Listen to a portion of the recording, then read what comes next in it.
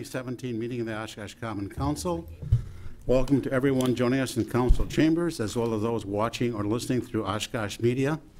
We are pleased to have citizens participate in our local government, so welcome to all. Will the city clerk please take the roll? Pech, Here. Palmieri, Here. Allison-Aasby, Here. Herman, Here. Panske, Here. Krause, Here. Cummings, Here. present seven. Now, please stand for the invocation, which which will be led by Councilman Pech, and then the Pledge of Allegiance. We are mindful of the blessings of liberty that we have in this nation. May our decisions tonight improve the quality of life in our city and for our residents.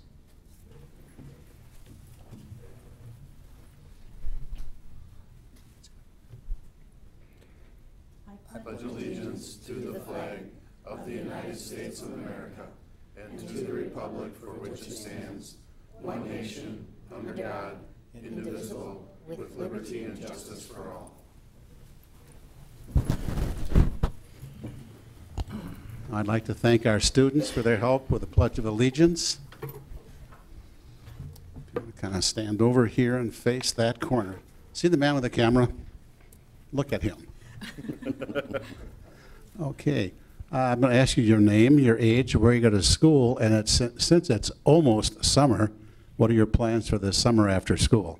Uh, my name is Reese Mazaris. I'm in eighth grade and I go to South Park Middle School. And I'm looking forward to going to Florida in August. Okay, Florida in August, wow. This is a certificate for you for your help. And what is your name? My name is Samantha Schultz, and I go to Lakeside, and I'm looking forward to hanging out with my friends. Okay, it sounds like a fun summer. This is for you. Would you all thank our students for their help in the Pledge of Allegiance?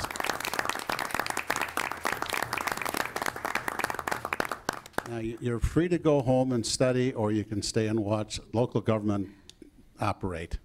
Yeah. So, so thank you again, Mom and Dad.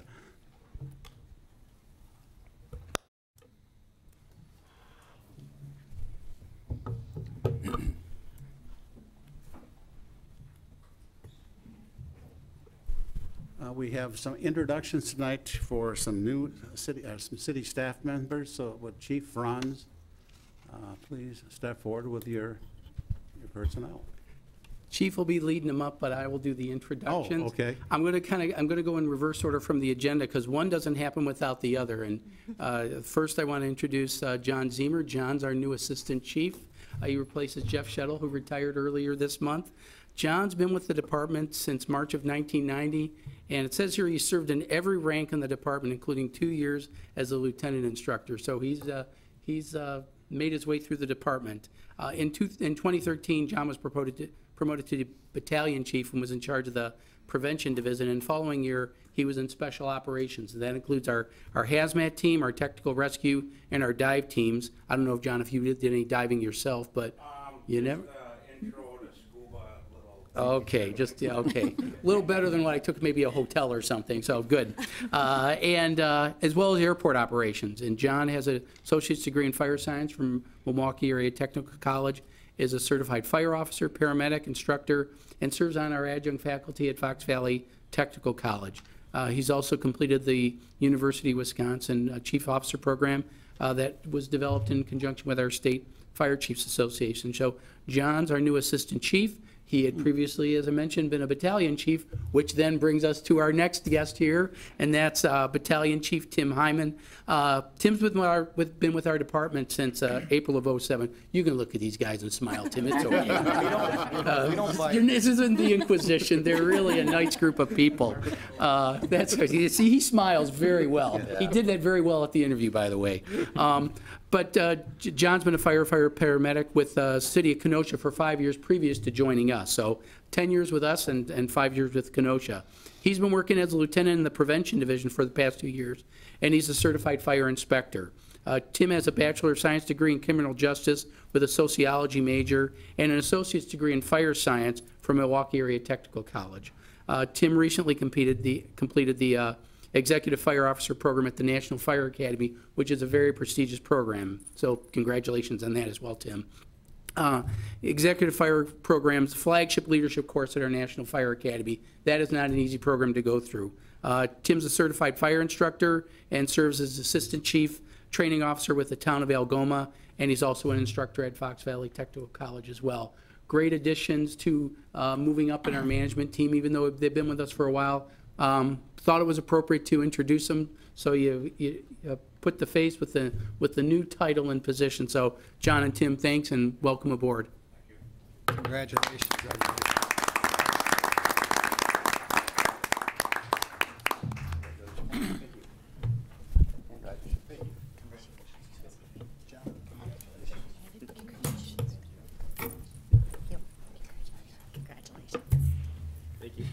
Everybody. Wait. Congratulations. Congratulations.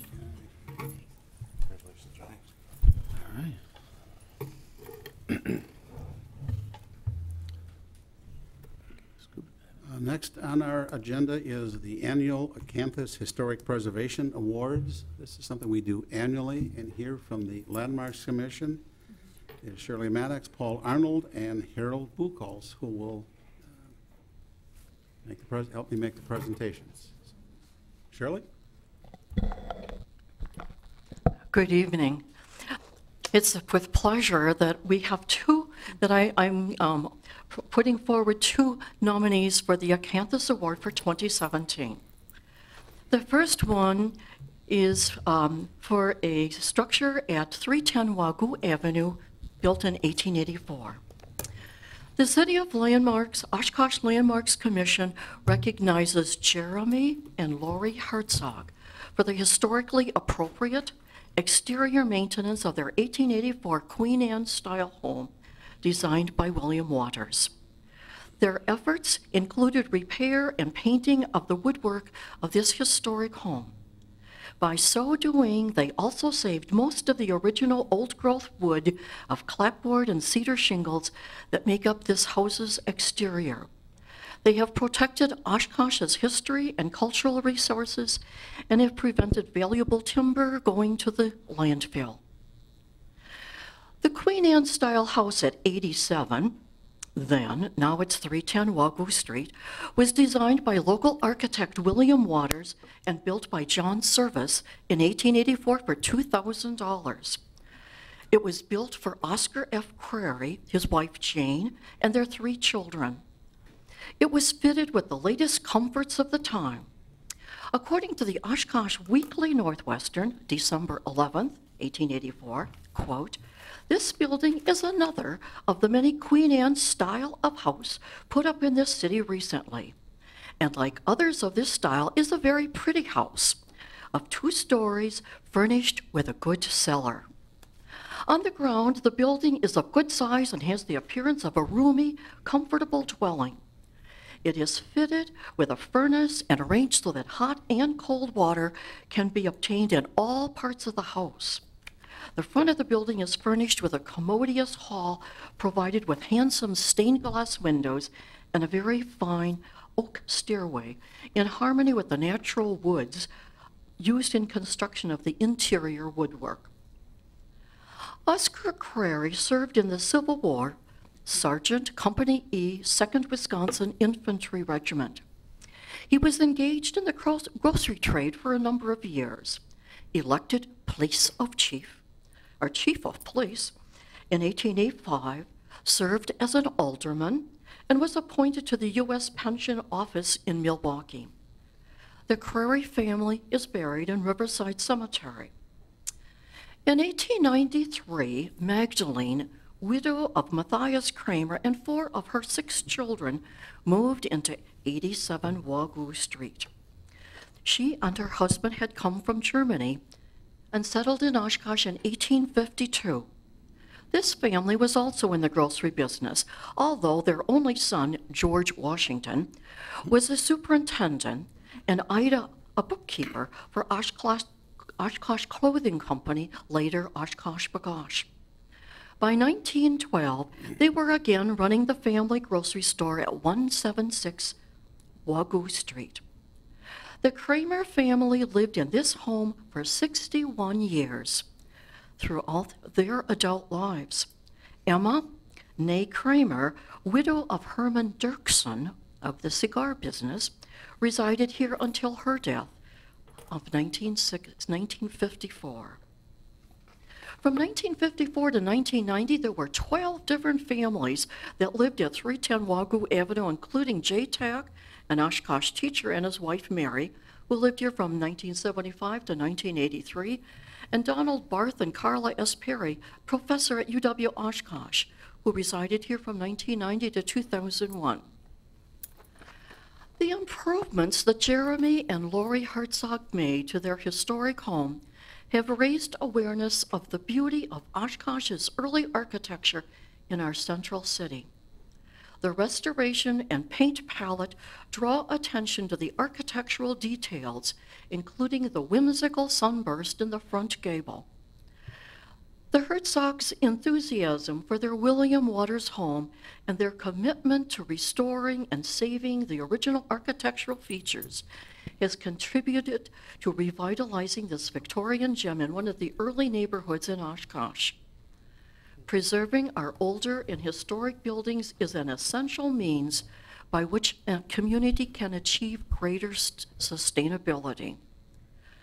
Conserving buildings encourages the revitalization of- of our existing communities and has also been proven to be a powerful economic tool. The Landmarks Commission congratulates the Jeremy and Lori Herzog.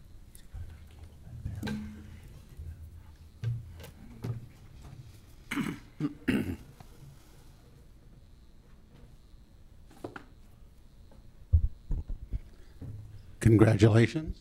Shirley, would you like to join me in presenting the certific- certificate? Come on down. Is there anything you'd like to say? Now, I, I go down your street almost daily, and I admire the work that you two did. They did this on their own, and it's, it's an amazingly large house, so, and you're still smiling.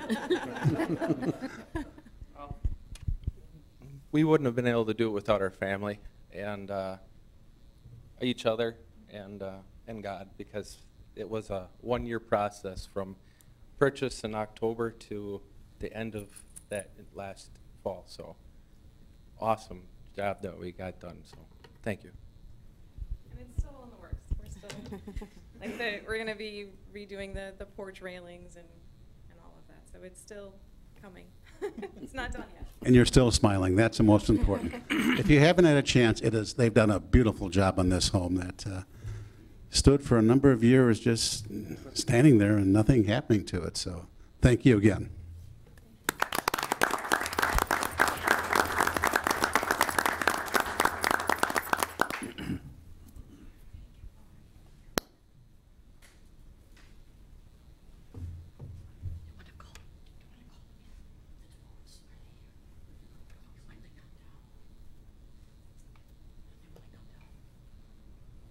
Try right at first.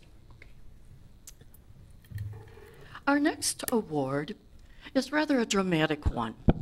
Um, The entire city knew about this, and I think people across the state and maybe different parts of the country saw this project. This Acanthus Award is for the DeVooght House and Moving Movers for the relocation of the Lewis Schreiber House at 1428 Algoma Street.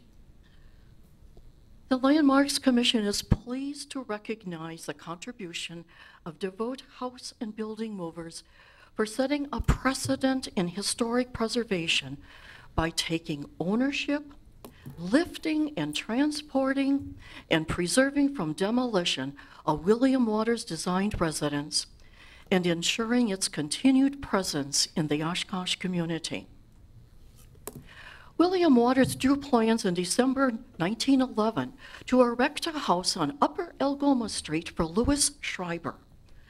The Oshkosh Daily Northwestern, February 1st, 1912, notes, quote, "Ground will be broken as early in the spring as possible for the erection of a new residence for Mr. and Mrs. Schreiber. The house will be built on land which adjoins the residence of prop, and property of E.W. Paine. A number of park-like trees add to the beauty of the location. The house is to be built of red bricks along colonial lines. Work will be pushed through the summer in the effort to have the house ready for occupation by September 1st. The estimated cost of the residence is not given out. William Waters' original blueprints for the Schreiber House are archived at the Oshkosh Public Museum. The Schreiber House is built of solid masonry instead of wood frame and brick veneer, as most houses are built today. The steep roof has parapet walls. Dental moldings below the roof are repeated on the front entryway. The Wisconsin Historical Society notes this is a fine example of the Georgian revival in Oshkosh.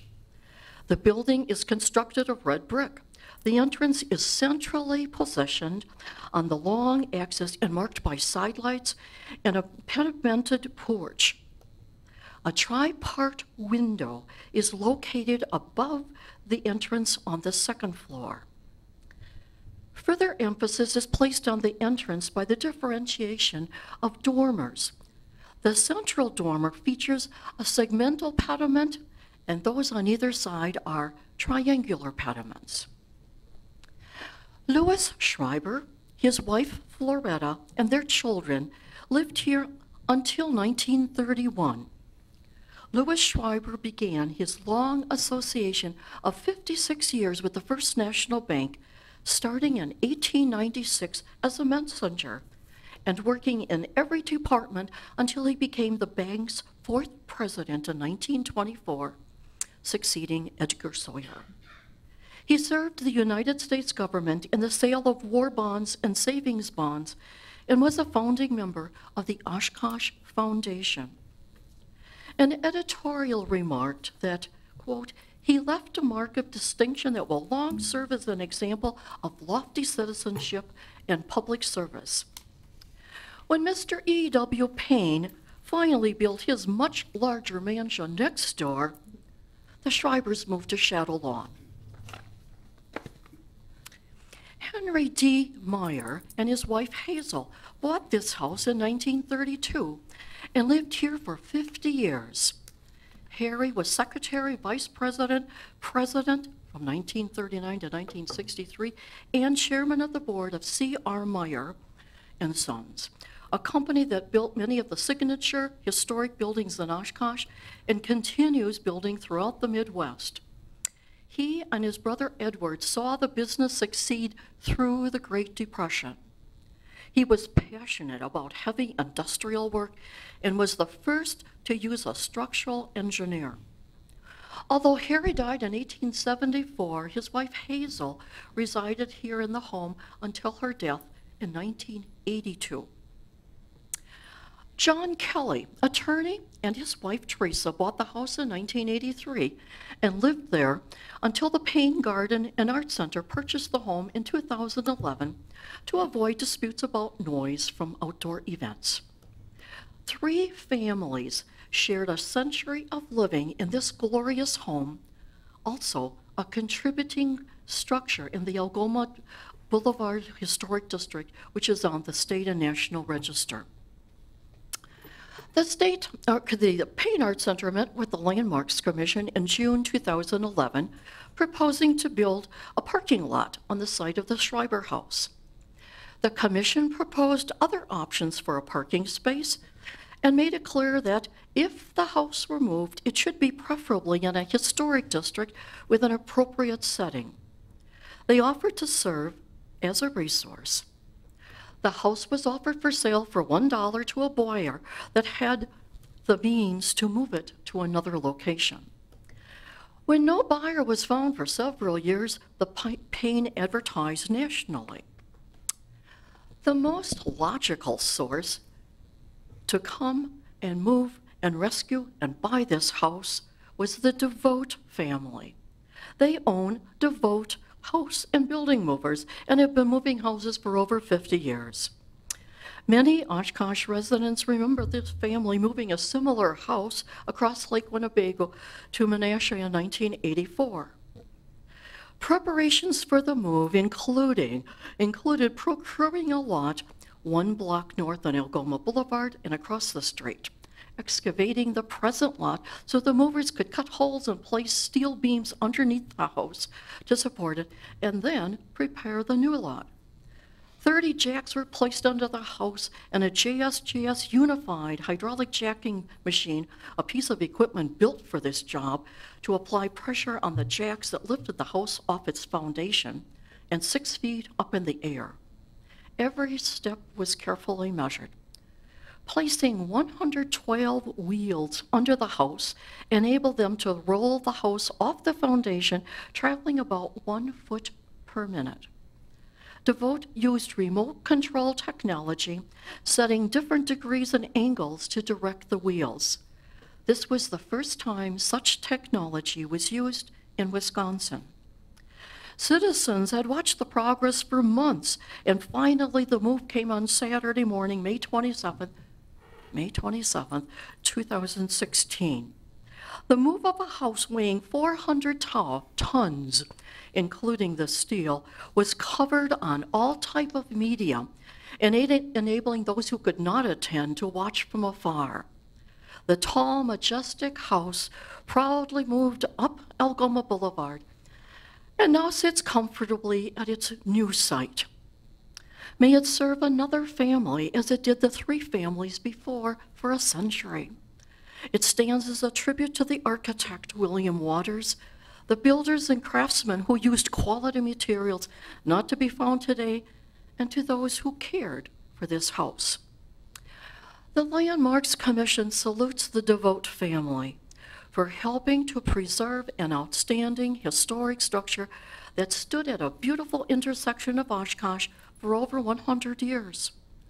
Their expertise and confidence give hope to those who want to preserve rather than tear down the riches of our history. They helped the DeVooghts help teach us a lesson about respecting what is beautiful, historical, and irreplaceable. The Landmarks Commission is grateful to the DeVooght family and for their contribution to preserving another piece of Oshkosh history. Congratulations. Thank you, Shirley. And I see members of the DeVooght family here, so if you'd like to come forward, we have a certificate for you. Uh, About a year ago, you began this, well, more than a year ago. Jeremy, congratulations and thank you. Thank you. If you'd like to say a few words. I just want to say that this could not have happened without the, the countless efforts of Aaron Shearer from the Paine. Aaron worked countless. Uh, He tried to get this thing done, and, and when I first met with him, we did not have a solution, but we worked through a solution together, and it could not have happened without Aaron. And I cannot say enough about the city and the state of Wisconsin. Uh, There was no roadblocks along the way. Everybody just had a positive attitude to get this thing moved. They believed in what we could do, and we were very happy to save this structure. Thank you, Jeremy.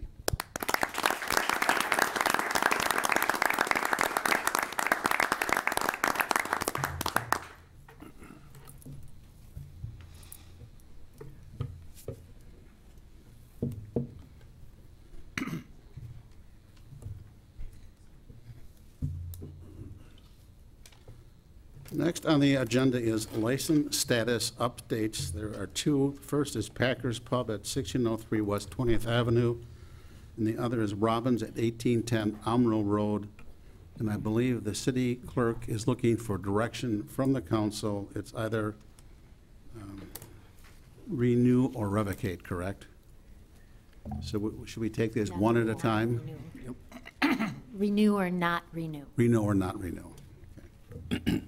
Uh, Let's do the first, which is Packers Pub at 1603 West 20th Avenue.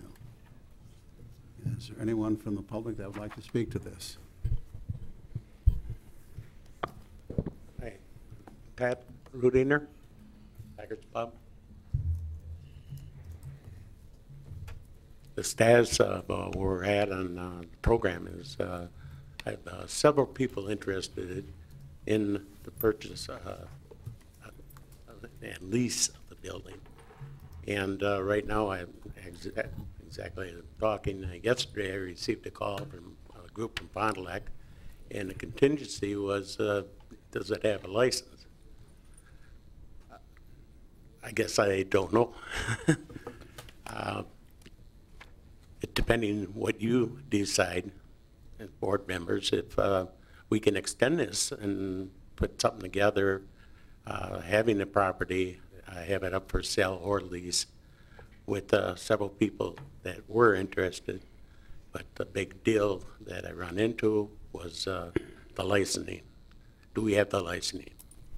So I guess where things stand right now, this is where I'm at.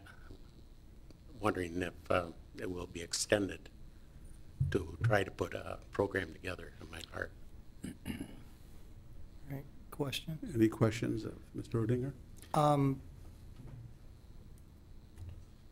This license was orig, was, the, the facility was closed in August of 2015, and in May of 2016, it was approved for renewal for, through June of 2017, June 30, 30 June 2017, based on your comments that you were marketing it, that you had several prospects, that you needed the liquor license to sell it.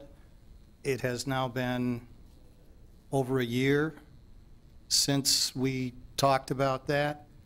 Um, At what point is some there there?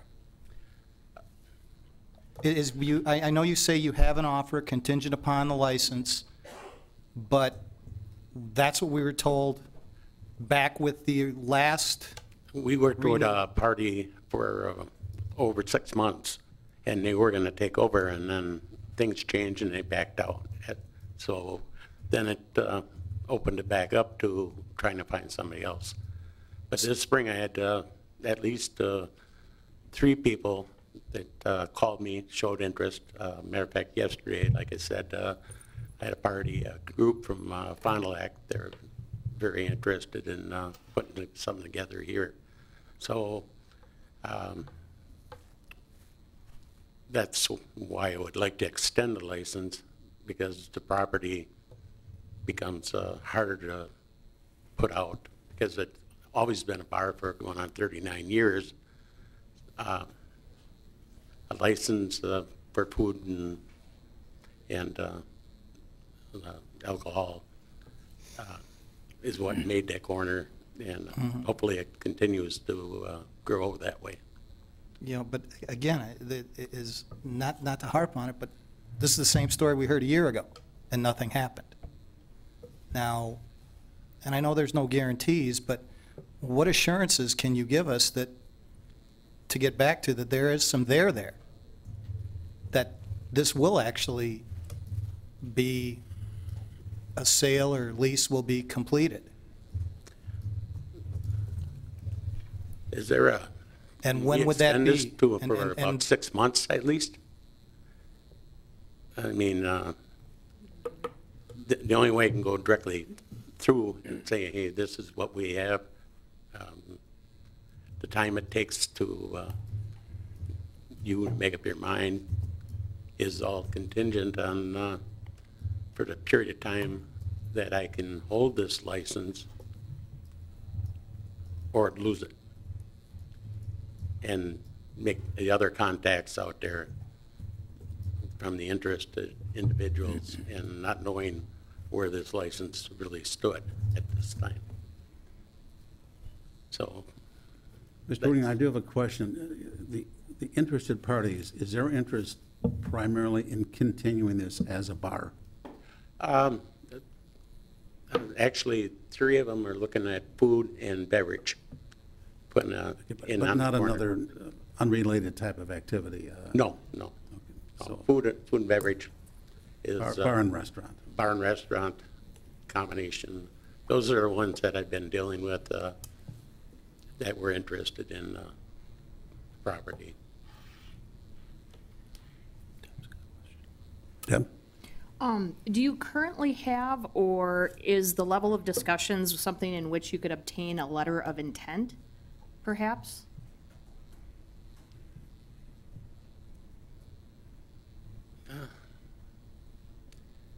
If there's a period of time being allowed here, I, I, I can go after that. Um, What, what period of time are you allowing or will you allow? Well, for if- putting this together. I mean, my, my personal opinion is, you know, I was hoping we'd see something as of today, um, you know, within two weeks. Well, the, the license is actually approved through June 30th of 2017, correct? So you currently have the license. So I don't know why you would not be reinforcing that in any potential sale or lease option. I mean, you have the license. If there is some activity within the next five weeks, I don't see any reason why we wouldn't go through that. But it- it- the license is currently approved through June 30th. And When would we be taking action on renewing? We have renewals on this evening, and we will have them on the next two meetings in June. So that would be the 13th and the 27th? Correct. I, I would think that, at a minimum, this letter of intent could be acquired tomorrow at the outset, at the, at the, the, the outside, no later than the 13th of June, a couple of weeks. If this party is truly interested, I'm sure that they would, understanding that the situation, that we have to make the decision whether to keep it or to revoke it, that, as Ms. Panske indicated, the license is good through the 30th of June, and, you know, we've acted in good faith previously by extending the license, even with the same story we're hearing tonight, that I've got a party interested in it. And I would think that it would be incumbent upon you to prove that there is indeed this interest. And if this person, this party is truly looking to move forward, that they would be more than happy to provide a letter of intent. I ju- have a question for the city clerk. If we wait till the June 27th, I think that's what it was, June uh, 27th meeting, we would then do a revocation hearing, so that would be a- even another couple weeks, correct? And they could bring in proof that they are, that a sale might be imminent or close or whatever, and we could extend it then, right? We would need to do the non-renewal hearing on the June 27th meeting. Okay. Okay, so would, And I, I would need a little bit of time to prepare that. Then I would- Okay. Yeah, I guess I concur with the other council members, you know, um, it's been inactive. Um, Last council meeting, we had uh, another owner in, and he came with oh, a, uh, information showing how it was listed and being listed and everything. Who do you have it listed with? Who are you working with to try to find a buyer? Are you doing it on your own, or are you working with a realty company, or? I had it out uh, with a realtor company, and then nothing happened for a while.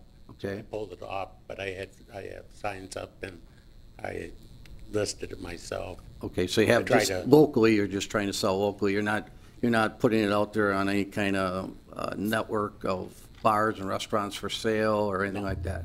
No. So, it's just kind of, it's out there? Yes. Okay. Yeah, I guess, um, at least by then, I guess we would have to make a decision to move forward with a revocation hearing by the June, June, co- first council meeting in June to let you have time to put, put it together and stuff like that, so.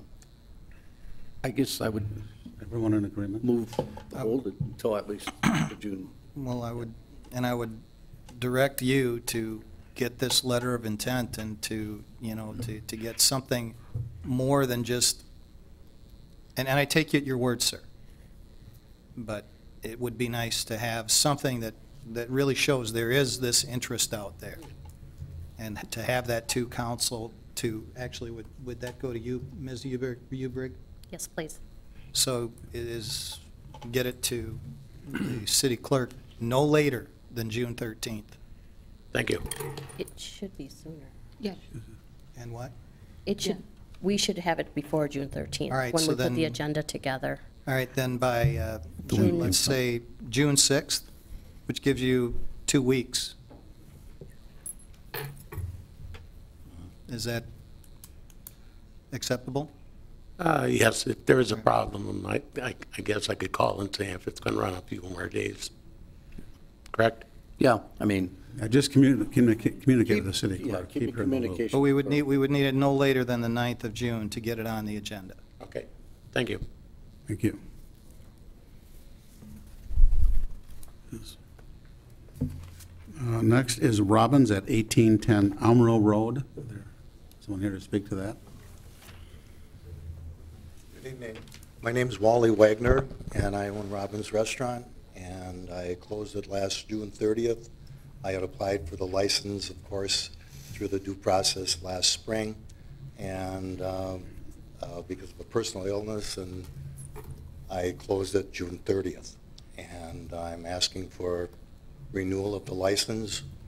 We have it listed with a real estate company. Since that time, since I closed, we um, we had a- an offer to purchase from an individual last October as an investor, and he was buying the building and then leasing it to a restaurant group from Oak Creek, Wisconsin. The, the investor backed out, and the people in Oak Creek are still interested in doing that. We're in conversations uh, bi-weekly with them. Uh, Looks like I'm going to be a bank for a while, if it does happen. Their intentions are to put a lot of money into Robbins Restaurant, and uh, they do run a successful operation in Oak Creek, and uh, they're just getting financing together with that. And we, the real estate company brought to my attention a few days ago that they possibly an interested buyer to make it available for lease. Um, So that might come together with these people in Oak Creek, but the people in Oak Creek have to get together about $400,000 from what they want to do to Robbins to create their presence in Oshkosh. And that would be, um, it's, I would have to say it's more like a country western type of sports bar image type of place. Uh, With food, of course, they are, um, they have a very good reputation where they are with a lot of competition. They uh, smoke their own ribs and brisket and things like that, and that's what they would present to Oshkosh with live entertainment, uh, probably once a week also. But there's, um, I went to, of course, to their business in Oak Creek, and I was very impressed the way they run their operation down there. Very good operators, they've been in business a while. They aren't new people in town that get into a business like the hospitality business and expect grandeur when it's actually a lot of work. So uh, I'm still confident that we're going to be able to work something out. Um, I don't know, I can't give you a letter of intent because uh, that happened last October, but again, they visited us, I don't know, probably four or five times since the first of the year with engineers and architects to get, uh, they wanted to be in business truthfully before Country USA this year, and it just didn't work out. So hopefully that uh, we can get something accomplished before fall. That's basically all I have to, uh, I wrote a letter uh, when I uh, applied for the liquor license of the, of what was happening. I don't know if you received it at all. So Questions? Was there any other interest besides this group from Oak Creek? Well, there is a, uh, an investor in Appleton that's interested, but he would have to find a tenant. And that, that was relayed to me earlier this week, uh, oh, last week, Here we are only Tuesday, it was last Thursday, actually, actually, when I got that. And that's your intent, is to sell the business and then Absolutely. whatever they do with Yeah, it? I- I'm gonna be 71, you know, maybe I'll have to reopen it again, I don't know. well, I think it's actively being marketed, obviously. I think all of us have driven by Oshkosh Avenue and gone by Robbins and seen the sign, so I'm comfortable that it's being actively marketed and attempts are being made to find an owner. Um, um, I talked to a couple chamber representatives who kind of concur with what Mr. Wagner's saying, so I'm comfortable in renewing, moving the license forward for another year. Right, I failed to mention that, I don't know, you maybe are aware that I own properties east of Robbins. I think there's seven parcels, and right now, um, they're act, um, I accepted an offer to purchase, and they're working on different things to construction of a hotel and other development in that property. So that should help spur some more interest in, uh, in Robbins also, in that facility. It'll be a nice addition to an entrance into Oshkosh. I know if things are done.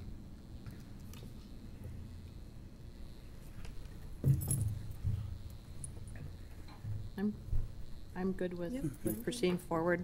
I have to say, I've, I've known you for a while, and you've always been a man of your word. Right. So there's absolutely no reason for me to doubt. And, and I drive by there quite frequently. Yes. Um, on my way out to Highway 41, I've seen a lot of activity, um, in the parking lot of people going in and out of the building, so. Mhm. Yeah, we're trying to move it, trust me.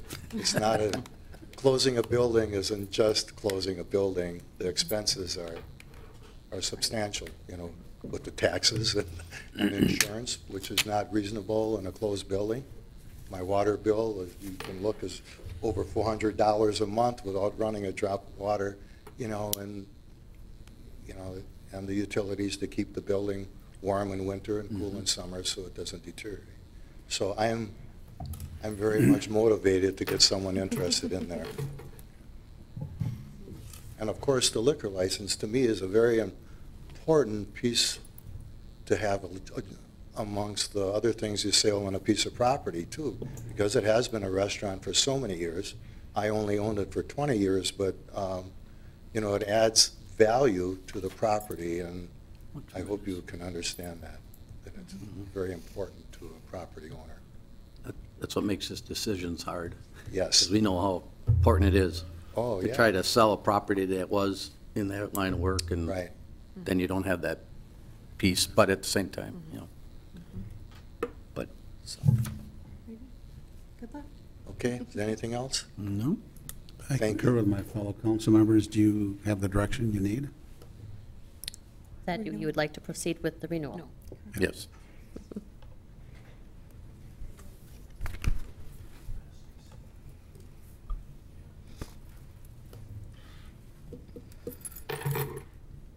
Uh, Next on the agenda, we have a public hearing. Uh, This uh, requires three readings and then a vote.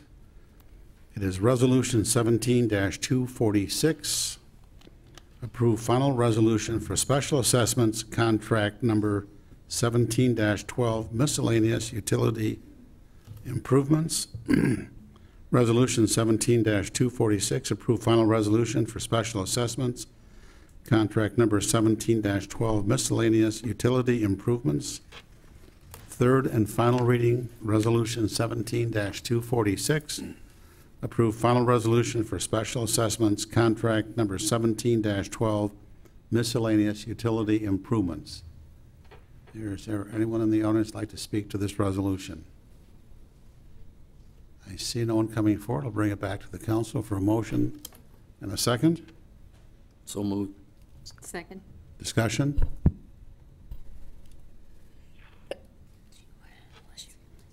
Would you please take the roll? Pat? Aye. Mary. Aye. Allison-Aasby? Aye. Herman? Aye. Panske? Aye. Prozey? Aye. Cummings? Aye. Carried seven. Now we have citizen statements to council. Statements are limited to five minutes, must address items that are not listed on the council meeting agenda, are limited to issues that have an impact on the city of Oshkosh, and the common council may address at a future meeting, and must not include endorsements of any candidates or other electioneering. Is there anyone from the public? Please step forward. And you will need your name and address, please. Good evening. My name is David Zerby. I live at 1031 Washington Avenue. I've been there for 18 years. I'm a member of the administrative team of Aurora Healthcare. I'd very quickly like to cover four points tonight related to the concept of complete streets. So I'd like to make sure that you're all aware of complete streets. I'd like to share why I believe this is important. I'd like to pass out some information that I copied for you uh, to help you uh, how to learn more about complete streets. And I'd like to ask the council to set a time at a future meeting to deliberate and then enact a complete streets policy. Complete streets are streets for everyone.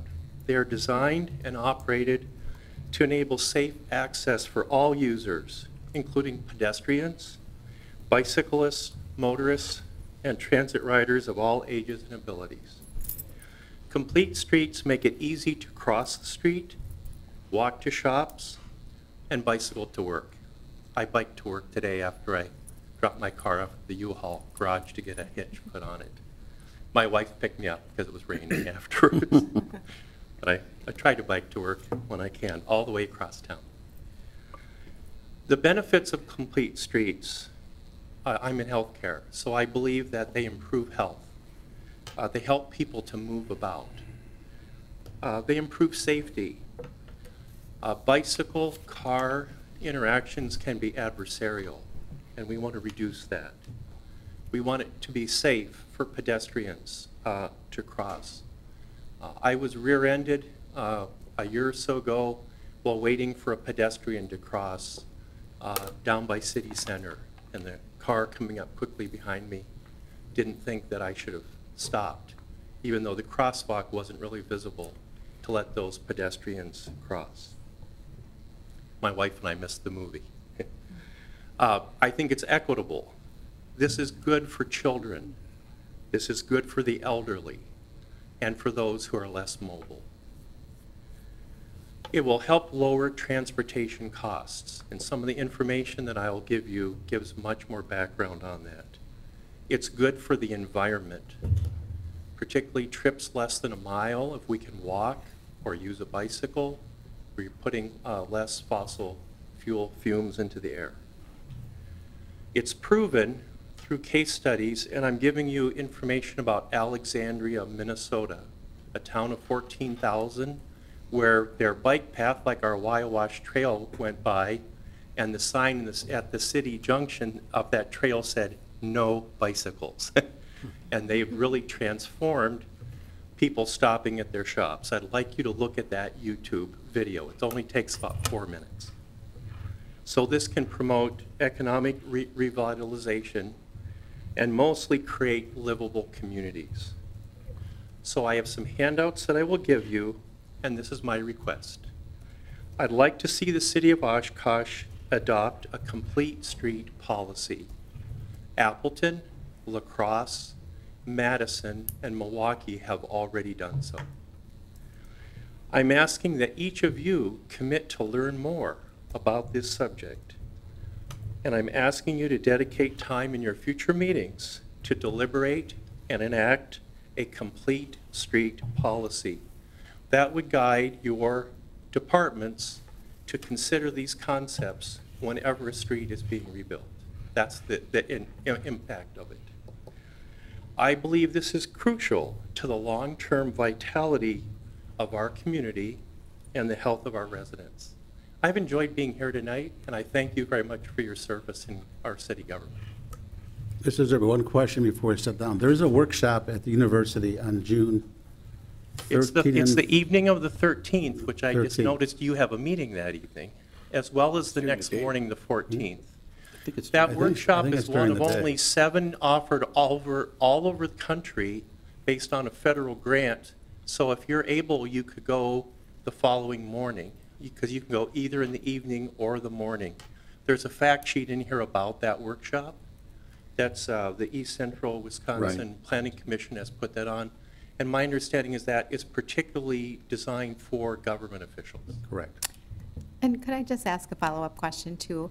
Um, So I have my definition of what complete streets um, are defined as.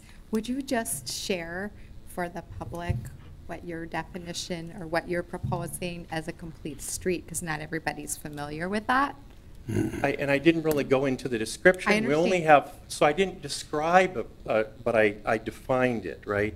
It's designed to enable self, the safe access for all users, including pedestrians, bicycles, motorists, and transit riders of all ages and abilities. Depending upon the width of the roadway and the amount of traffic, you'll see different things. You may see a single lane each direction with a turning lane in the middle, with a bike path, maybe on, uh, on one side or on both sides. You'll often see green space, so the idea of permeable surfaces, uh, trees and shrubs that, that help us with water uh, storm runoff are built into this. But some of the other things that you often see, instead of two skinny little crosswalks, you may see the, what looks like big dominoes, the big white uh, things that make it, as a motorist, you see the crosswalk much earlier than you might see a crosswalk as it now exists today. I, I, I like sushi, so I often go from Aurora over to Festival Foods and get my sushi, and it's an adventure crossing West Haven Drive on foot. And I do it a lot. I really like sushi. Uh, This is not meant to be an ad for Festival food sushi. Um, But the other things that occur are bump outs near the intersections. And one of the purposes of that is it causes the motorist to slow down. But equally important, it shortens the distance that the pedestrian is actually in the street. So these things are very significant. Not, I'm not just a bike crazy bike person. This is about people on foot and walking about. So a complete street is for everyone, automobile, bicycle, and on foot. Thank you. Mr. uh, Deputy Mayor Herman looked it up, and I, on the 13th, it is from 3 to 5, and on the 14th, it is 8:30 to 2:30. And it's at the, um, uh, it's going to be at the U- UW Oshkosh Alumni Welcome Center. I'm sure Mr. Collins has information on it. Thank you. Yeah, there's a fact sheet in here about Right. And it's um, put on by the um, uh, East Central Regional Planning Commission.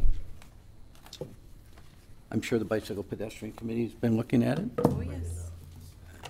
I know the Parks Board has talked a little bit about it, so. Thank you very much. Thank you.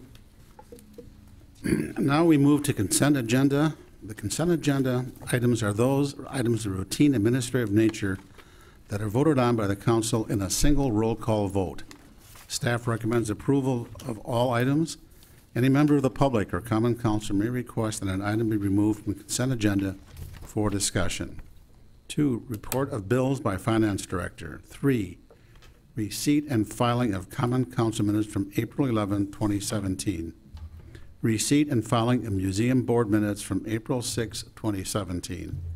Resolution 17-247, approve initial resolution for special assessments for storm sewer laterals at various locations with signed waivers.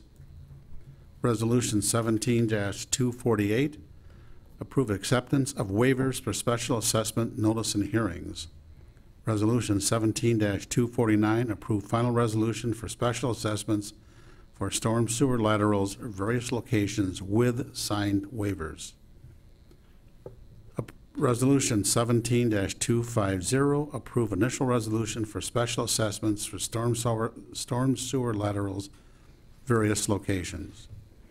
Resolution 17-251, approve agreement, amendment to engineering services agreement with McMahon Group for design and preparation of construction documents for the urban reconstruction of North Main Street in Perins from New York Avenue to Murdock Avenue, $79,511.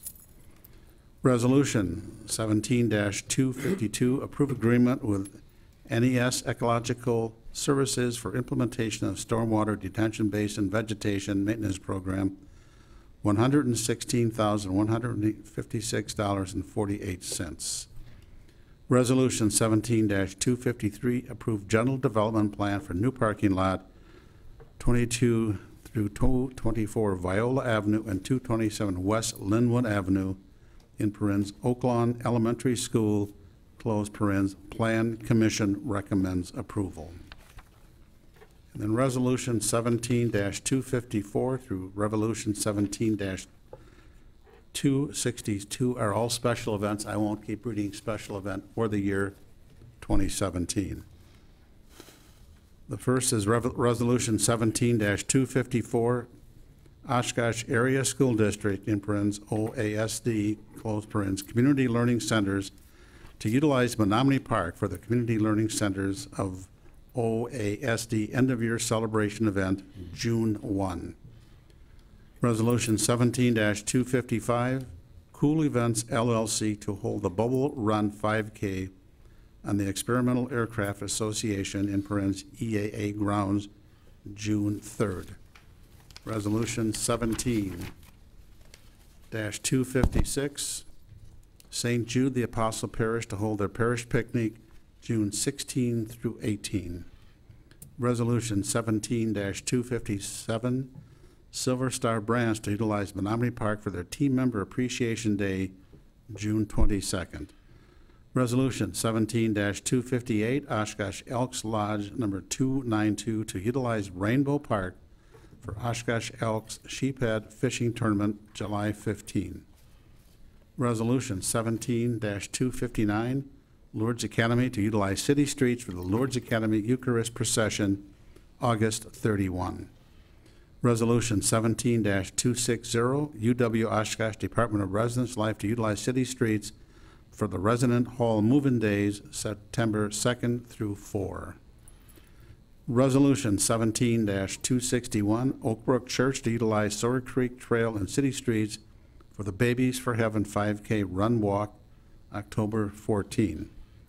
And the final special event is Resolution 17-262, 262, Oshkosh Town Down- Downtown Business Association bid to utilize city streets for the Downtown Bid Holiday Parade, November 16.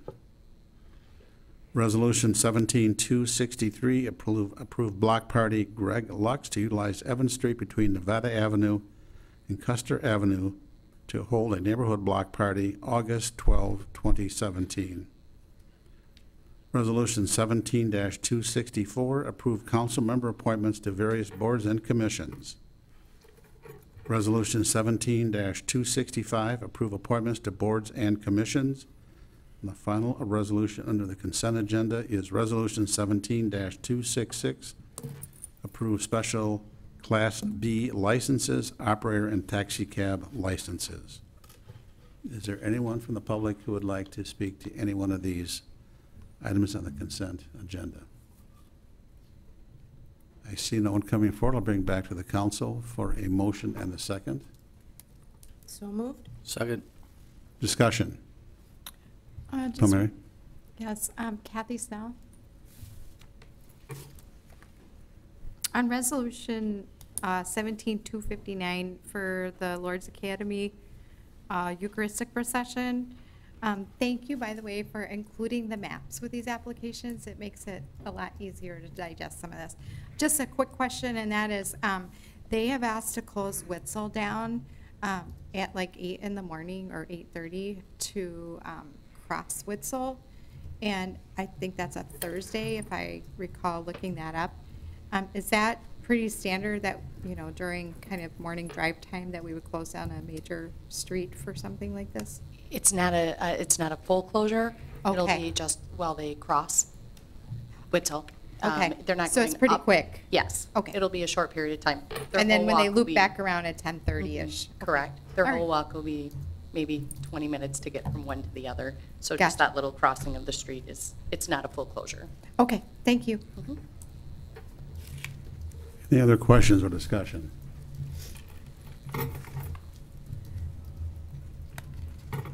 Apparently not. Would the city clerk please take the roll? Pech, Aye. Palmeri. Aye. Allison-Aasby, Aye. Herman, Aye. Panske, Aye. Rousey, Aye. Cummings, Aye. carried seven. Uh, The first pending ordinance is ordinance 17-267, designate bicycle lanes and modify parking regulations to restrict parking on west side of West Haven Drive from Ninth Avenue to Patriot Lane.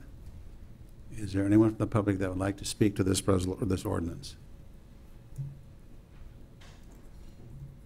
See no one coming forward, bring it back to council for a motion and a second. So moved? Second. Discussion? Would you please take the roll? Pech, Aye. Palmeri, Aye. Allison-Aasby, Aye. Herman, Aye. Panske, Aye. Krause, Aye. Cummings, Aye. carried seven. Ordinance seventeen two six eight, approve zone change from RH thirty-five Rural Holding District to HI Heavy Industrial District for property located north of Atlas Avenue and east of Global Parkway, Southwest Industrial Park. Plan Commission recommends approval. Plan Commission approved. Is there anyone from the public that would like to speak to this? I'll bring it back to council for a motion and a second. So moved. Discussion? Is there a Second. Would you please take the roll? Pech, Aye. Palmeri, Aye. Allison-Aasby. Aye. Herman, Aye. Panske, Aye.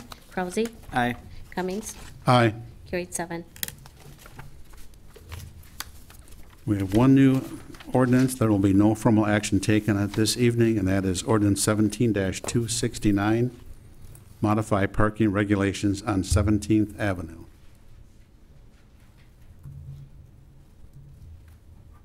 We'll move on to new resolutions. The first is Resolution 17-270, approve annual city licenses in parens renewals, close paren. Is there anyone from the public that would like to speak to this? Bring it back to the council. Motion and a second. So moved. Second. Discussion. Would you please take the roll? Pech, Aye.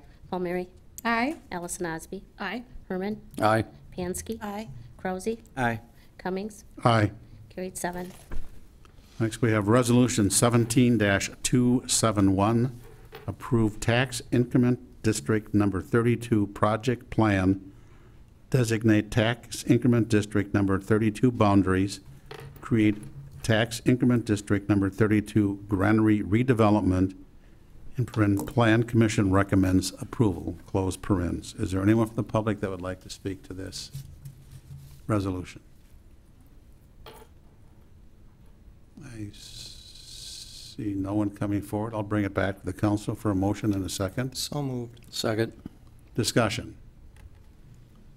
Mr. Davis, Mr. Burich, I think. Um, Couple of things. Um, I appreciate the press covering stories and that, and, and I know that they only have a certain amount of airtime and column space. Um, It's been discussed that this TIF is for a restaurant.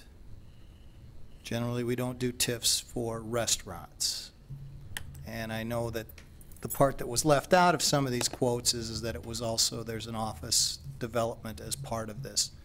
Uh, Mr. Burich or Mr. Davis, could you address the, address this and kind of clear up exactly what this is and why the city is doing this, even though it is uh, in all of our documentation, but so that it, that it is clearly reported of what is going on here?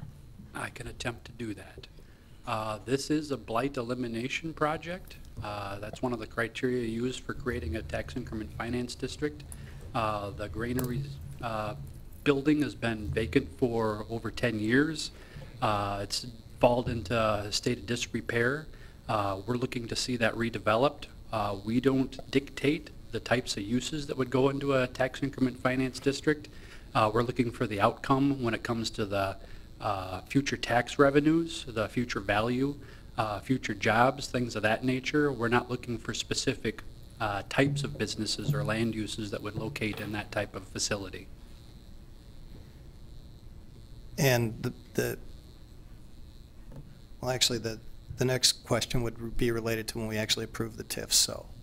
So it is, it is, this is, it was found to be within our policy. Absolutely. Yes, uh, we have a number of criteria when it comes to uh, judging, I I would say, the uh, tax increment finance district. And Mr. Burich uh, went through a scoring process that was in the packet, and this particular tax increment finance district scored very highly uh, for the criteria that we have, uh, rehabilitation and the uh, jobs, the uh, I don't have it off the top of my head, but there's a, uh, several criteria that list the, the important factors that we rate uh, for a tax increment finance district, particularly a redevelopment district. And I think the granary matches uh, a lot of those criteria. That's why it scored so, so high. and Mr. Burich can provide you the details. Well, you know, getting back to this just being a restaurant project, uh, as Alan said, this is a blight elimination project. As part of this blight elimination project, we're going to get a rehab building out of it. So you're going to have the restaurant go into one portion of it. They're going to have the office complex in the, in the main, in the, in the main uh, uh, mill building. That will be for a, a an employer is moving around the downtown area, but as part of this project, they're also expanding their workforce as part of this project. So when we start to look at things like this, and we start to connect it back to some of our plans like the comp plan, we're we're, we're seeing things like, you know, revitalizing, revitalizing and creating activity in the South Shore area or along the waterfront. Uh, revi- revitali- revitalization of a, of a locally landmark structure. So it's a historic preservation project. So from our standpoint, from a planning standpoint, it hits, there's nothing out there in our, any of our plans that say redevelop the granary. We, say- we talk about preservation of historic, important historic structures. This is, for, for us, it's an important historic structure in our downtown area because it's one of two locally landmark structures that we, that we've actually done locally. There's only one other one in the community. So from our standpoint, it hits the blight elimination uh, basis for the, for the uh, statutory requirements, but then we look at why we're doing it. We're looking for the blight elimination, the creation of some jobs, and the creation of activity along our riverfront downtown.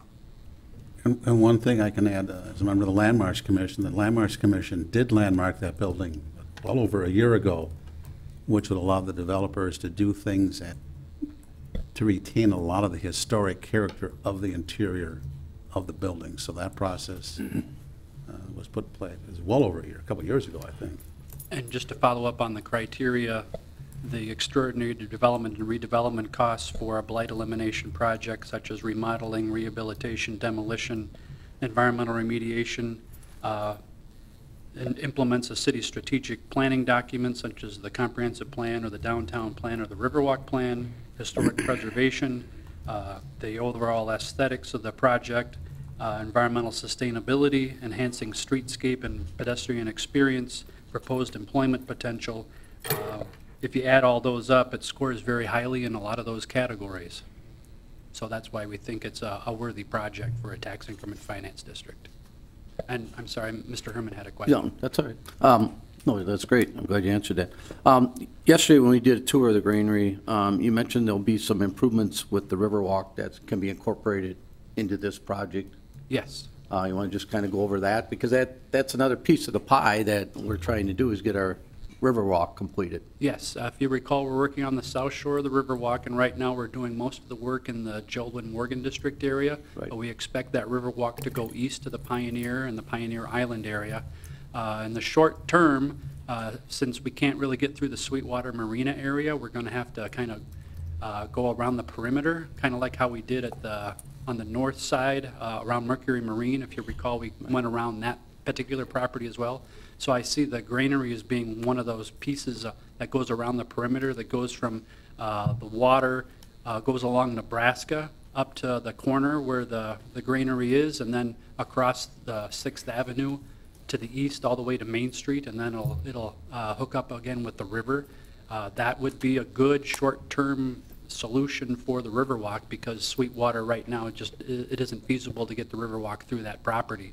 So they're actually proposing streetscape improvements that would widen the sidewalk, uh, put some street trees in and and beautify the area, as well as uh, something else they'll be coming back with is expanding the patio uh, ordinance to allow uh, the sidewalk cafes uh, to be located at at the granary. So uh, we think that would actually enhance some of the the Riverwalk, I say, destinations that we need to create more of on the South Shore. Okay. And then you also mentioned yesterday about some improvements to Fifth Street and parking. Yes. Public parking? Yes, uh, the area between the granary and Sweetwater is technically a public road, street right-of-way, and it's in not so good a shape right now, a lot of potholes. Uh, They are proposing to make improvements uh, both on their property and the street right-of-way uh, so that uh, will provide more parking for the granary area as well as any other customers to both businesses and and the public. Uh, And they'll also take care of uh, maybe delineating the, the location of the public right-of-way, because a lot of people just assume it's one big parking lot, where in fact it is a, a street that goes through there, and they'll put some curbing in to uh, uh, delineate that public right-of-way. Okay. There's been some question um, about the length of the TIF. Is it 22 years? Is it 27 years? Just where, where- what is the length of the TIF? Uh, The TIF is, all comes down to the development agreement when it comes to that. At this point in time, the developers are asking for the PAYGO TIF, uh, which is no specific dollar amount. It's based on the uh, rate of return that they have on their investment. Uh, Right now, they're in the single digits for the return on investment for the property, and you could, in theory, ask for 90% for the entire 27 years. Uh, And my expectation is that based on their rate of return, uh, that would, could justify the award of a 90% for 27 years. When you get to those kinds of details, that's the development agreement, and of course, we'll bring a development agreement back to council for any kind of uh, review and action by the council. Okay. And I believe there's a representative from Ehlers here tonight? Yes, uh, Todd Taves uh, put together the tax increment finance district Right. plan and uh, did a lot of the cash flow analysis and uh, generated a- the rate of return so we could advise the city as to how well this particular project met our criteria and TIF uh, statutes. Right. So if you have any Yeah, questions I just for want to him, have I'm Mr. sure he's Taves, as long as he came up uh, to Oshkosh, if he could just kind of do a, just a real brief analysis or whatever Sure, in your and uh, report. on that last question, uh, the the statutory life of the TIF is 27 years. Where the 22 years comes uh, from is that is based on our cash flow projections. Uh, The point in time based on the assumptions where the amount that the developer has asked for as the incentive would be retired. So in other words, the TID would be projected to close in 22 years, although it could remain open for 27. Okay. Um, I mean, just a few comments. Yep. So as part of our engagement, we were asked to look at the performance that the developers submitted. And uh, what they had indicated is that without TIF assistance, uh, they would uh, receive a return of just under 2% uh, on that investment. And with the TIF assistance, uh, it was going to be just under 5%. So we've got uh individual that works with us, Frank Roman, who I know has been before the council uh, in the past, who has a real estate development background. So what he does is he takes a look at the developer's numbers, uh, confirms that the math is working correctly, and then based on his experience in industry norms, looks to see if the, uh, the revenues, the expenditures, the costs that they're assuming are within the range of reasonableness. And he concluded that they, they were. Uh, So then, based on that, the question becomes, is, is the uh, rate of return appropriate for the type of uh, project that we're looking at? And depending on the type of project, the nature of the risk associated with it, that range of return is typically somewhere in the 10 to 25 percent range. So in this case, even with TIF uh, being under 5 percent, what that would tell us is that a, an investor that's strictly motivated by a return or a profit on a project would not be likely to undertake this. So really, this is a substandard market rate return on this project, either with or without assistance. So based on that, uh, you know, we, you know, it's our opinion that the TIF assistance will make the project more profitable for the developer, but it will not bring it to a level where, again, a purely profit-motivated investor would look at this as a a worthwhile project from that standpoint.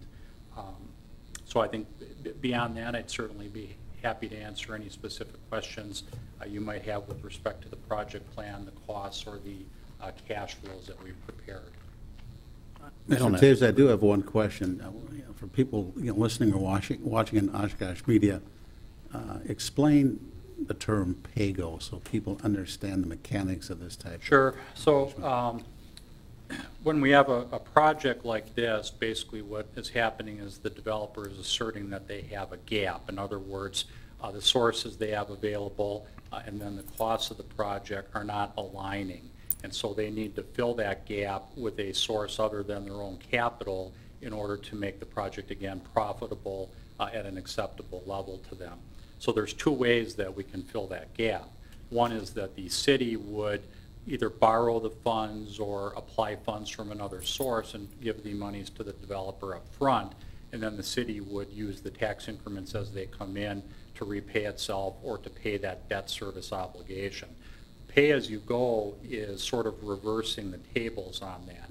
instead of the city using the tax increment to repay its own debt, what it's doing is providing that stream of increment, in this case, 90% of the increment, to the developer. So the developer then is taking that uh, pledge of that future assignment of the revenue stream, they're taking that in most cases to a financial institution, and they're receiving an upfront loan against that future stream of income. So that's how they fill that gap. So it's ultimately a risk shift equation. If the city's borrowing the money, while you can certainly uh, put certain securities into the development agreement to protect yourself, at the end of the day, it would be the city's debt, and if the project doesn't uh, happen at the levels that it was expected, or there's other issues, the city's ultimately going to be responsible for the debt repayment. This is taking that risk and putting it on the developer, since the city would not be borrowing any funds or applying any of its own funds up front for the project.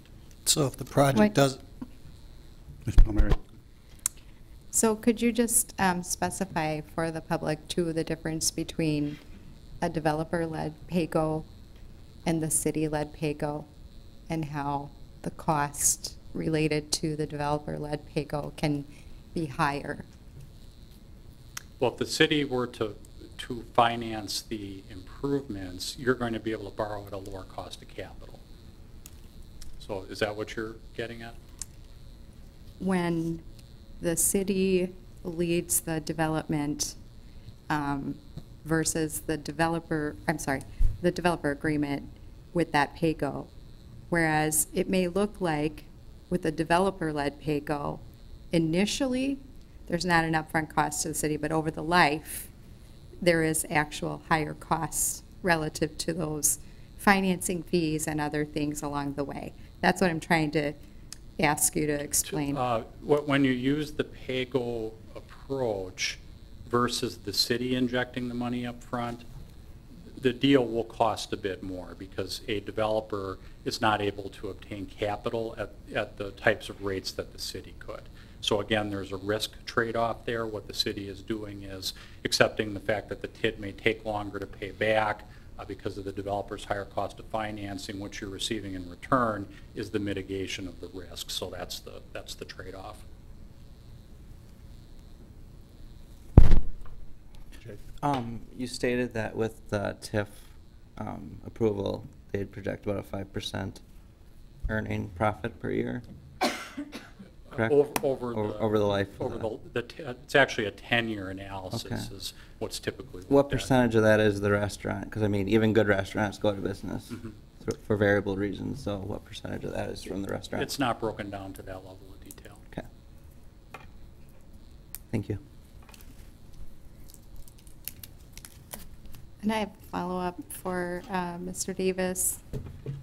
Um, So half of this project is not historic in terms of the add-on building, the part that's, um, I believe, designated to be the restaurant. So when we're looking at, uh, I believe it's $710,000 um, investment, uh, and that's not considered historic, you know, we're attributing some of the scoring criteria to, for, for historic preservation. Um, Help me understand how the whole project together should, should get those same scoring point, points. I don't think you can separate the historic versus the non-historic is the problem. I mean, it's one big project. Physically, right. It's physically one big project, Yep. and certainly looking at it, you can see there's historic pieces and not so historic, but you can't just build half a project or half a building. So uh, we came down on the side that it was uh, historic preservation from 1883, or that the the Landmarks Commission had already landmarked. Uh, We thought that justified the, the points that we gave when it came to the historic preservation and didn't try to separate that out. Uh, And when it comes to the $710,000, that's just a projection as to what the value is going to be of that uh, incremental stream in the future.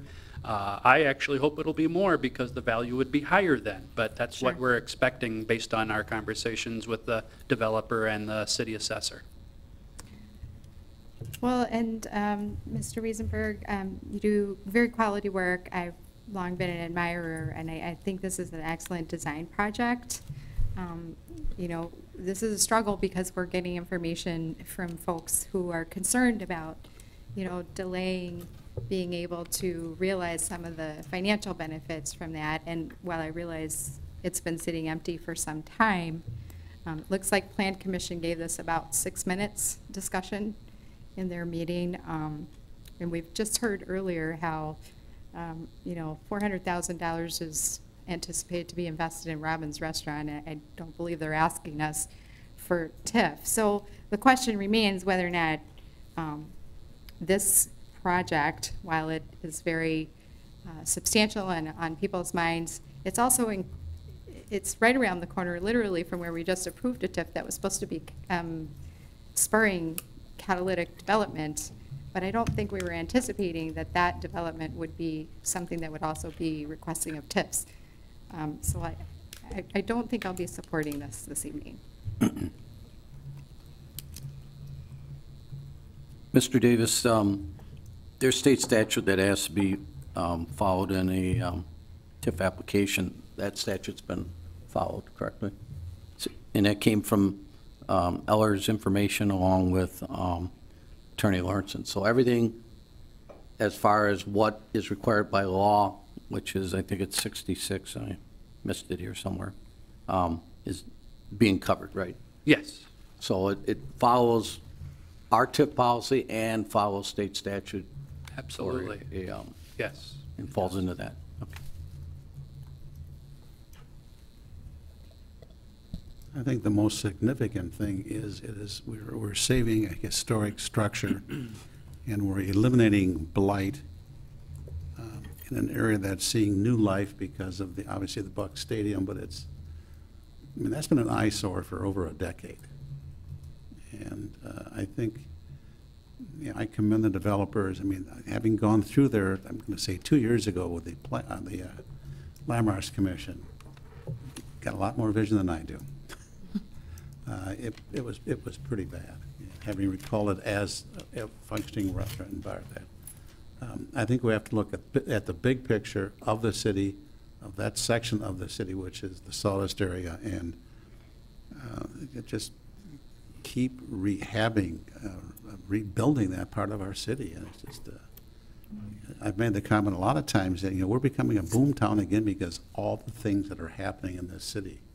And we just can't look at one structure or one building, but it's the, it's the whole area. So I will be supporting this. Mayor? Yep.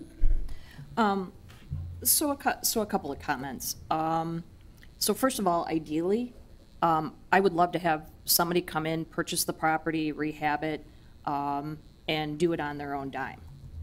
Um, would have loved to have heard about that within the last 10 years, um, and we haven't.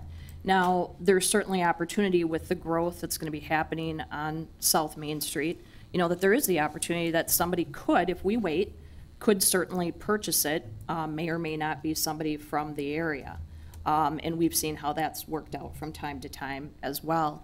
And I think something that, that's gotten lost in this, because I agree with a lot of what Ms. Palmeri is saying. Um, and when the developers agreement comes, I'm not excited about 22 years either. Um, and I would like to have further discussion about that. But, you know, I, some of the things that I, that I heard was that the TIF was based on a restaurant. Well, that's not true. The TIF is on that area and then the building. The benefit in this project, because I was tempted to vote not in favor of this, um, but when you read our TIF policy, it says that it's specifically for, I mean, this is certainly one of the areas that it's, that it applies to. With that being said, we have certainly had situations in which we have done this with a building and there's been no tenants. Um, they're, they're doing it on faith. Um, currently, it's my understanding, and I don't have any reason to believe differently. In fact, I did have a discussion with one of um, the tenants um, today, is that the benefit of this is that there's two immediate leases. They're contingent on this evening.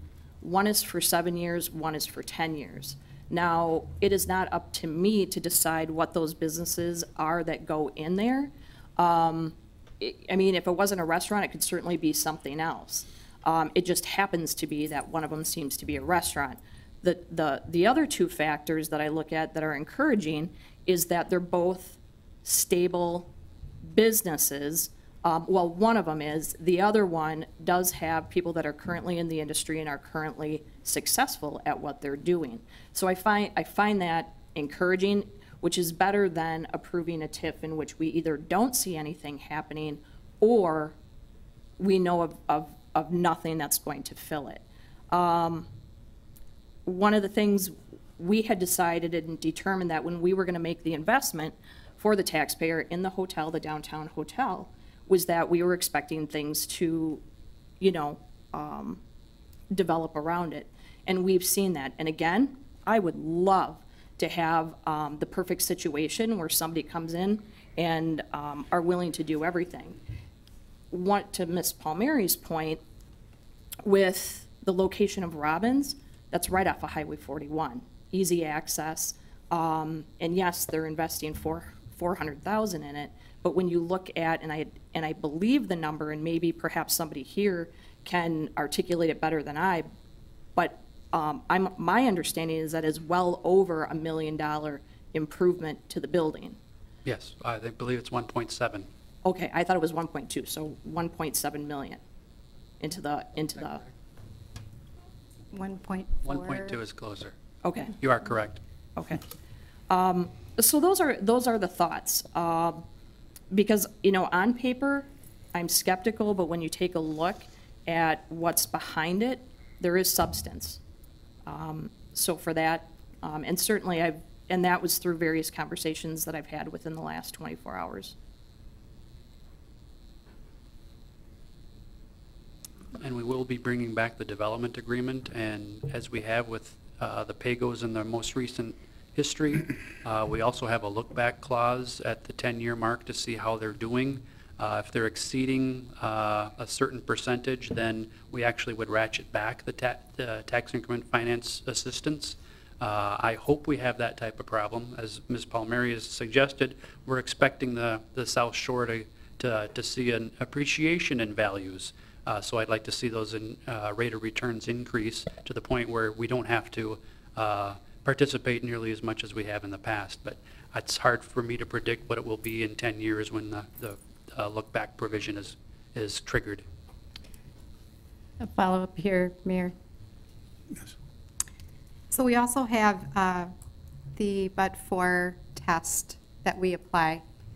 And we've seen time and time again, and, you know, I voted for the, the last uh, TIF regarding the arena and that, on the basis that, you know, opportunity or that development would not occur over that life were we not using TIF assistance. So what we see coming forward in the applications is we can't get, you know, our profit margin or our internal rate of return up to the level we want, so therefore, um, we need this assistance. But I think we have to look at this in a different way, that over 22 years, nothing would happen in that location short of us doing this. And I'm just not convinced of that. I would throw in, what about the past 10 years? That location has sat idle for 10 years, correct? That's my understanding, yes. Yes. And is the gentlelady willing to make a bet that it could possibly be another 20 years before something comes on? I think all of us are very good stewards of the taxpayer dollars, but um, this is, the developers are people that, these are not people that are coming in from, they're not carpetbaggers. These are people who are invested in our community and that have seen, have seen what this is. They have already put money into this project and they want to see this project going forward. Is there, will there be development related to what is going on on South Main Street? I'm sure there will be. But how long do we sit and wait to do this? And I agree with Ms. Allison-Aasby about that there, that this project, that there are leases ready to be signed and contingent upon completing this project. So, you know, um, I support this because this has, this project has, this particular property has sat idle for 10 years, yes, you could make the argument, someone may come forward in the next year, maybe not. Could be five years, could be 10 years. In that time, this particular property will deteriorate more, become more of an eyesore. It may get to the point where someone looks at it and says, it's not even worth rehabilitating, and we would lose a historical structure. And there are people on this council that, that make, that talk about securing our history and, and, and making sure that we rehabilitate things and that we revitalize our neighborhoods and that we rebuild and improve what is there. And this is an opportunity to put that ethos into play. So I do support this because I'm not willing to wait another three, four, five, 10, possibly 20 years from 20 years, and then have this just totally disappear. There's another consideration, too. The city has had to purchase another number of structures, some homes in the central city that were amongst the oldest in this community that were historically important. They had become rentals. They were so beyond repair. We had, the city had to buy them. We had to pay to level them, and we're sitting with two empty lots that will sit empty forever. The same thing happens to a structure, even though it's a stone structure, once deterioration happens, it accelerates. And at some point, people will be asking us, what can you do with that eyesore on Sixth Street? Which means at some point, we'll wind up more than likely buying it, demoing it, and have, having lost a part of our history. Uh, So I think there, there's more than just dollars and cents to this. It's the long-term vision of the city. It's the redevelopment of, of a significant portion of this city.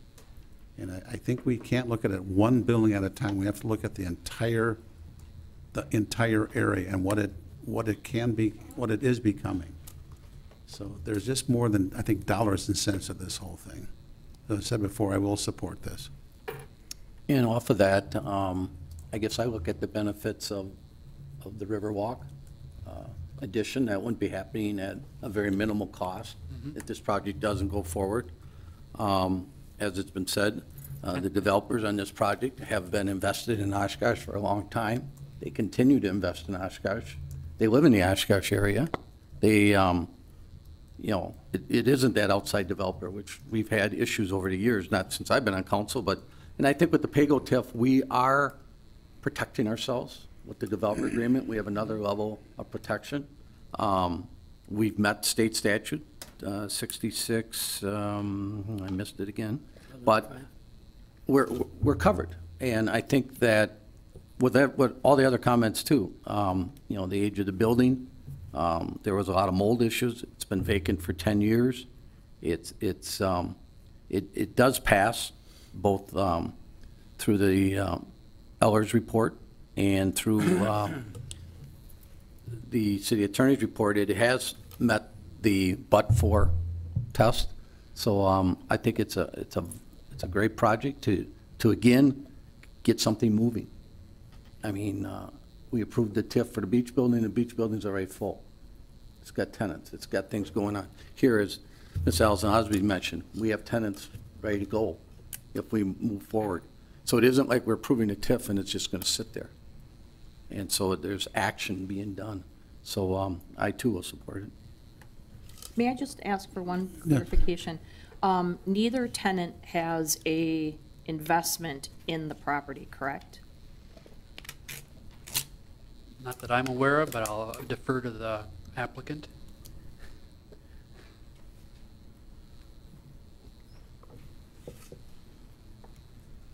Chet Wiesenberg, 240 Algoma Boulevard. Um, I am a minority partner in the restaurant portion as well. So um, I can add to that. It was, it's, um, I became a partner in the real estate because I've been working on it for a year to 18 months and um, needed to invest my sweat equity to make the deal happen. And that same thing came around to the restaurant, where the restaurant portion asked for additional investment to help make the project happen.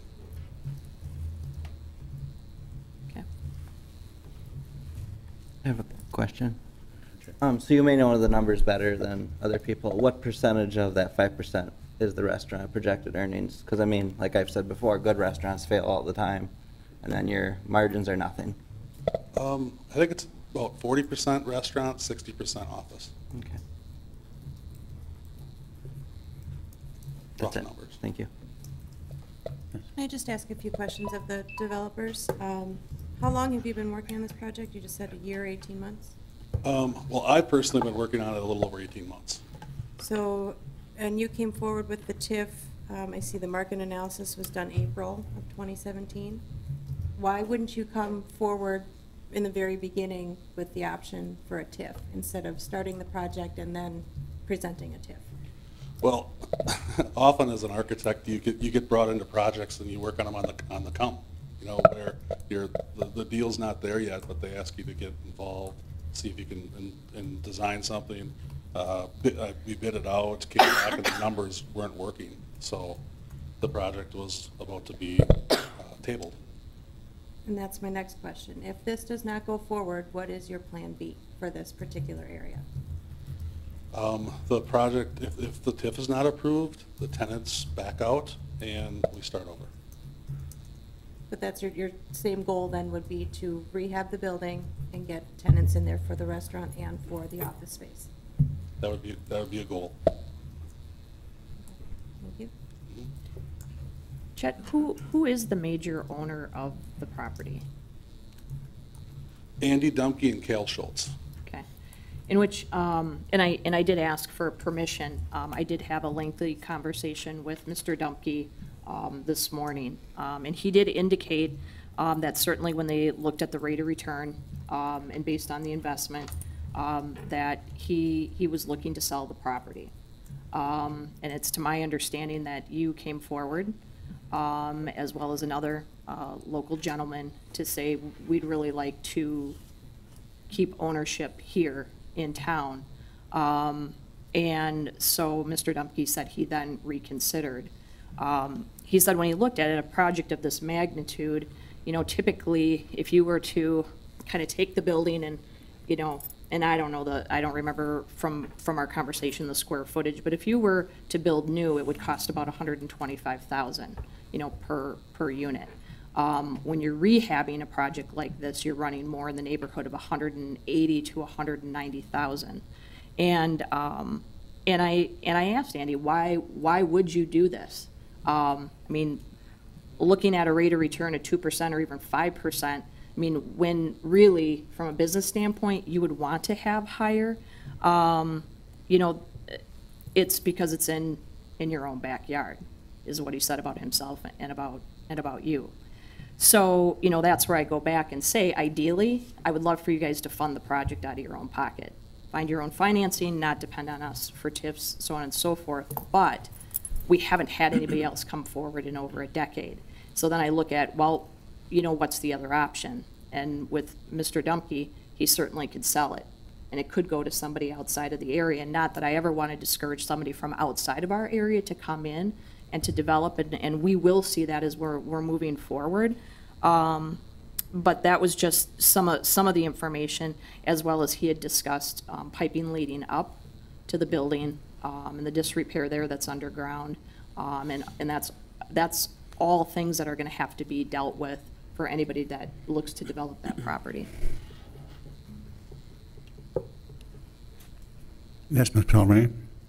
It was just kind of one last comment here, and that is that when we talk about looking at the big picture, I think that TIF has been a really, um, we'll, we'll be exploring this policy further, as Mr. Davis has suggested. We've got some tweaking to do. It's been a really useful tool during times when things were very challenging. We're starting to see some benefits from utilizing that tool. And we're going to be seeing more TIF applications coming forward imminently, of which I believe could potentially be Mr. Dumke on the Pioneer property, you know, or any number of other scenarios. Um, I guess I feel like we, if we're successful in what we're attempting to do in the, in the South Shore redevelopment area, you know, we should be generating, um, if not direct out-of-pocket investment, shorter, smaller TIF life um, investment from the city side of this. And that, and that's really all I had to add.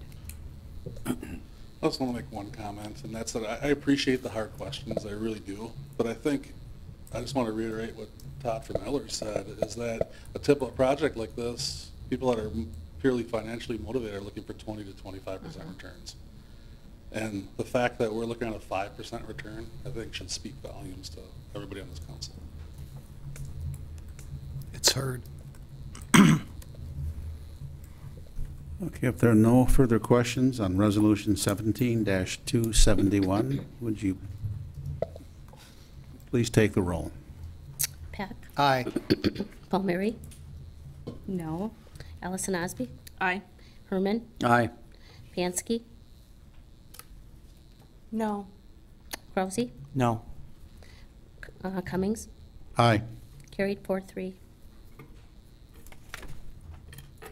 Resolution 17-272, approve specific implementation plan for plan development of 50 West 6th Avenue and parking lot east of 40 West 6th Avenue. The Granary Plan Commission recommends approval.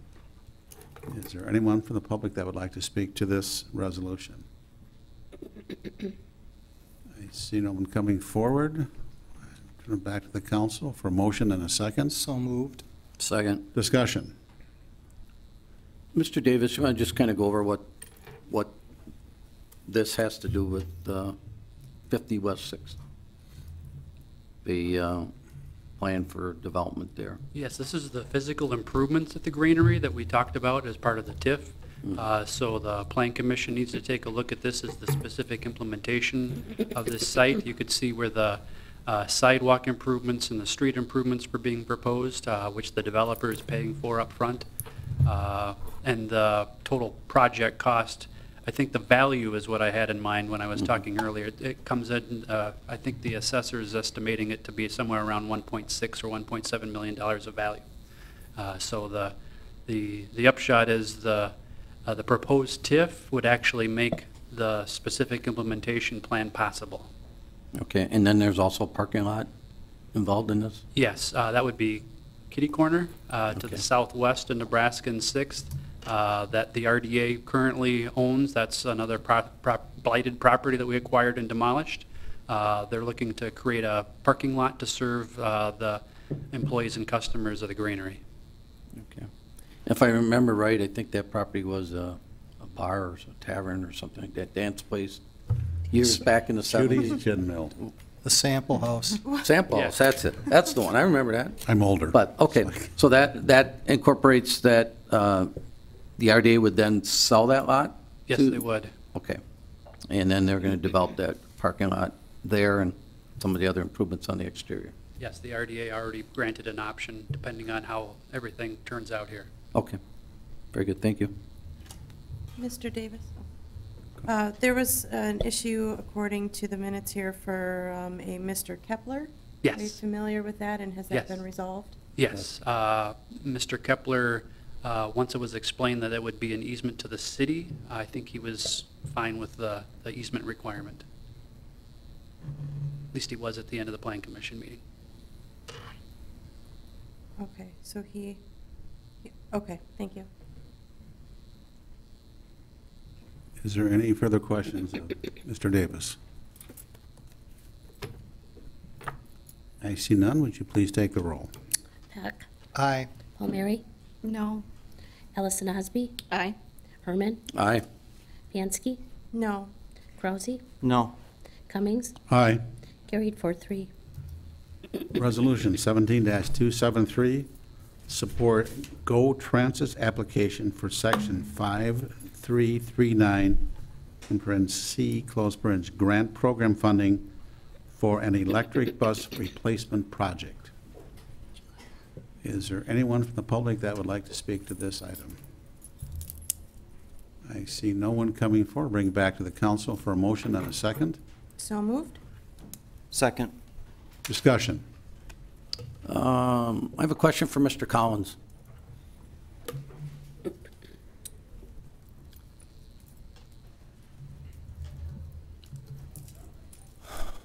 Unfortunately, while playing golf at Lakeshore the other day, I saw one of our buses being towed by Nolte's, and was one of our electric buses. So what are the odds that our electric buses are actually saving us money?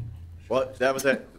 This is, that's actually a hybrid. So we have 10 diesel buses, and we have four, well, we have 12, 10 2003 diesels, we have four 2010 hybrids, and two 2013 um, diesel buses. But anyway, that was one, it, it's a good question. We actually, it's with the newer technology that burns the particulates to make sure the exhaust is cleaner. Um, the filter in that one actually got plugged, so that caused, we have to go and get the filter cleaned. But anyway, that was kind of an isolated incident for that Okay. bus. But um, we also had one of our 2003s where the motor just failed. So we were awarded grants over the last couple of years to, to buy some replacement buses. The ones we're currently buying are diesel. What this is, is we're applying for a grant for an electric um, bus. There's some discretionary grant funding available. There's only like 55 million nationwide, but um, we'll put in our application for it. The electric buses are different than the hybrids as, you know, the hybrids are, run both on diesel and battery power and it kind of, um, it varies based on the operation, whereas this would be 100% electric. These are kind of in their infancy. Um, So this is the trend where we're, the, the transit industry is currently going to. We'd be the first system in Wisconsin that would get one. But uh, as far as the maintenance, because it's, it wouldn't be a hybrid, you wouldn't have the issues that we just had on that one. Okay. This would be 100% electric. We don't think our chances are very good of winning it, but we're at least going to throw our hand.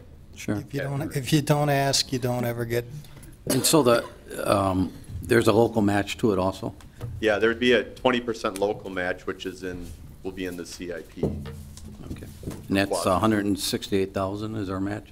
Right, so these, currently, a diesel bus is around 450,000. The hybrids, um, depends when we would order it, they go down every year, but they're between seven and 800,000, but it's 80/20, so if we get the grant, they would pay for 80%, and then we'd have to come with 20% local, so if we would get one, we'd probably buy, you know, one electric instead of two diesel with the local funds And we have staff that's capable of working with total electric buses and things like that, so that, uh, Yeah, I mean, I mean, our mechanics are very skilled. They've worked on the hybrids. I've- They haven't worked on 100% electric, but they know enough about it. They're up on Okay. all the industry standards. so.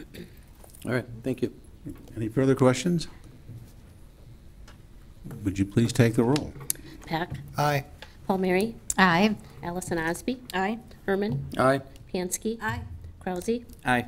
Cummings, Aye. carried seven.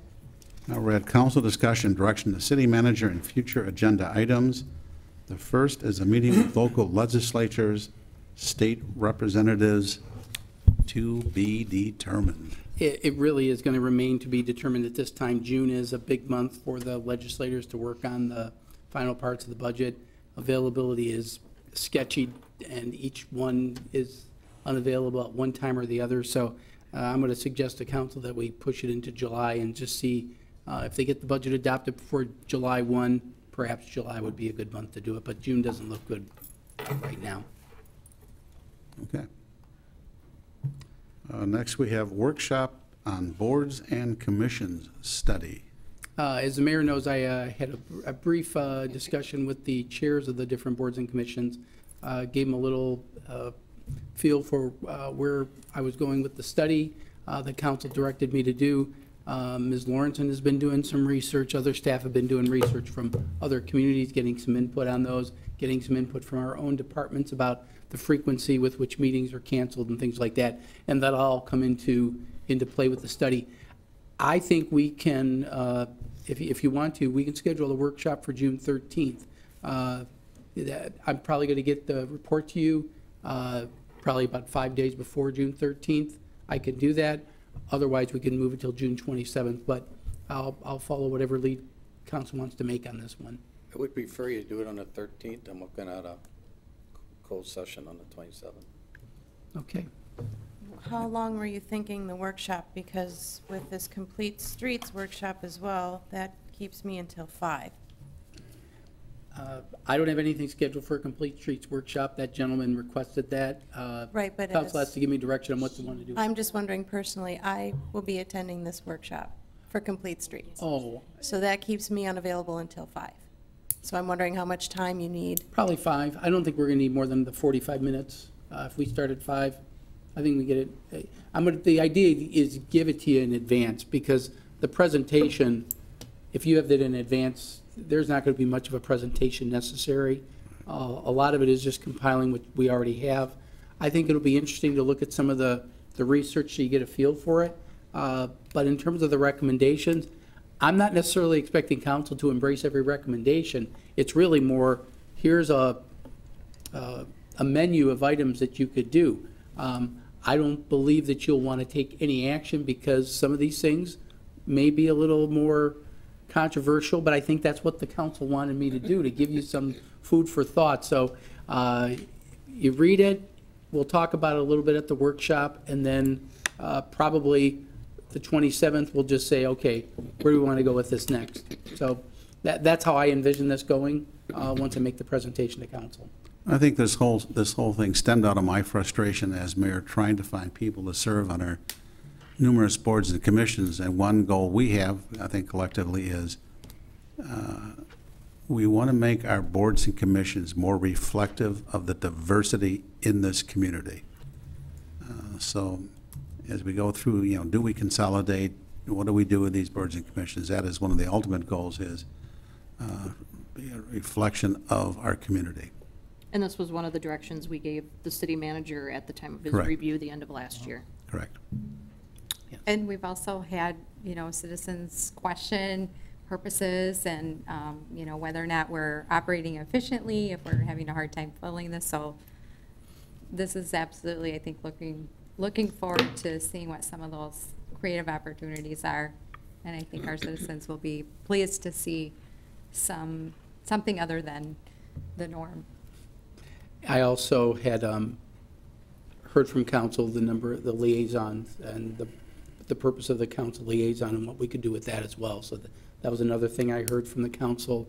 Um, One thing I will, you know, tease you with in terms of information, as much as I originally looked at the information about the number of boards and commissions we have, about 26 boards and commissions, um, we're on the high side, but we are not alone on the high side. Several of our, uh, and I, I looked at council manager cities, I felt that was the best approach. Um, There are some with upwards of 20, and uh, I heard a a couple of my colleagues commented to me, I didn't realize how many boards and commissions I had until you asked me, Mark. So it, it grows. We are not alone. We are in the same boat as so many of other colleagues, and that'll be, that'll be food for thought. But do we have identical boards and commissions? No, we don't, which is really interesting. That depends on each community's own choices, and uh, that'll, that'll be what it's all about, is what, what you want to do with all the choices you have before you. The names are only different. I'm, all yeah, names are, names are, names are changed, but it, the, the goal is the same, and it's citizen engagement. And I think that is clearly what council has, has wanted to do, is, is to get more citizen engagement. Um, but you have a lot of boards and commissions, we have about twenty-six. You, you've got a lot in your hands. But I'm not gonna tease you anymore, that, you'll have to wait. And, uh, but the idea will be get it to you around, uh, the eighth or ninth. Okay. Speaking of citizen involvement, now is the time, second time for citizens to address the city council. Citizen statements are limited to five minutes, must address items that are not listed on the council meeting agenda, are limited to issues that have an impact on the city of Oshkosh, and the common council may address at a future meeting and must not include endorsements of any candidates or other electioneering. Is there anyone in the audience wishing to address the public? The council?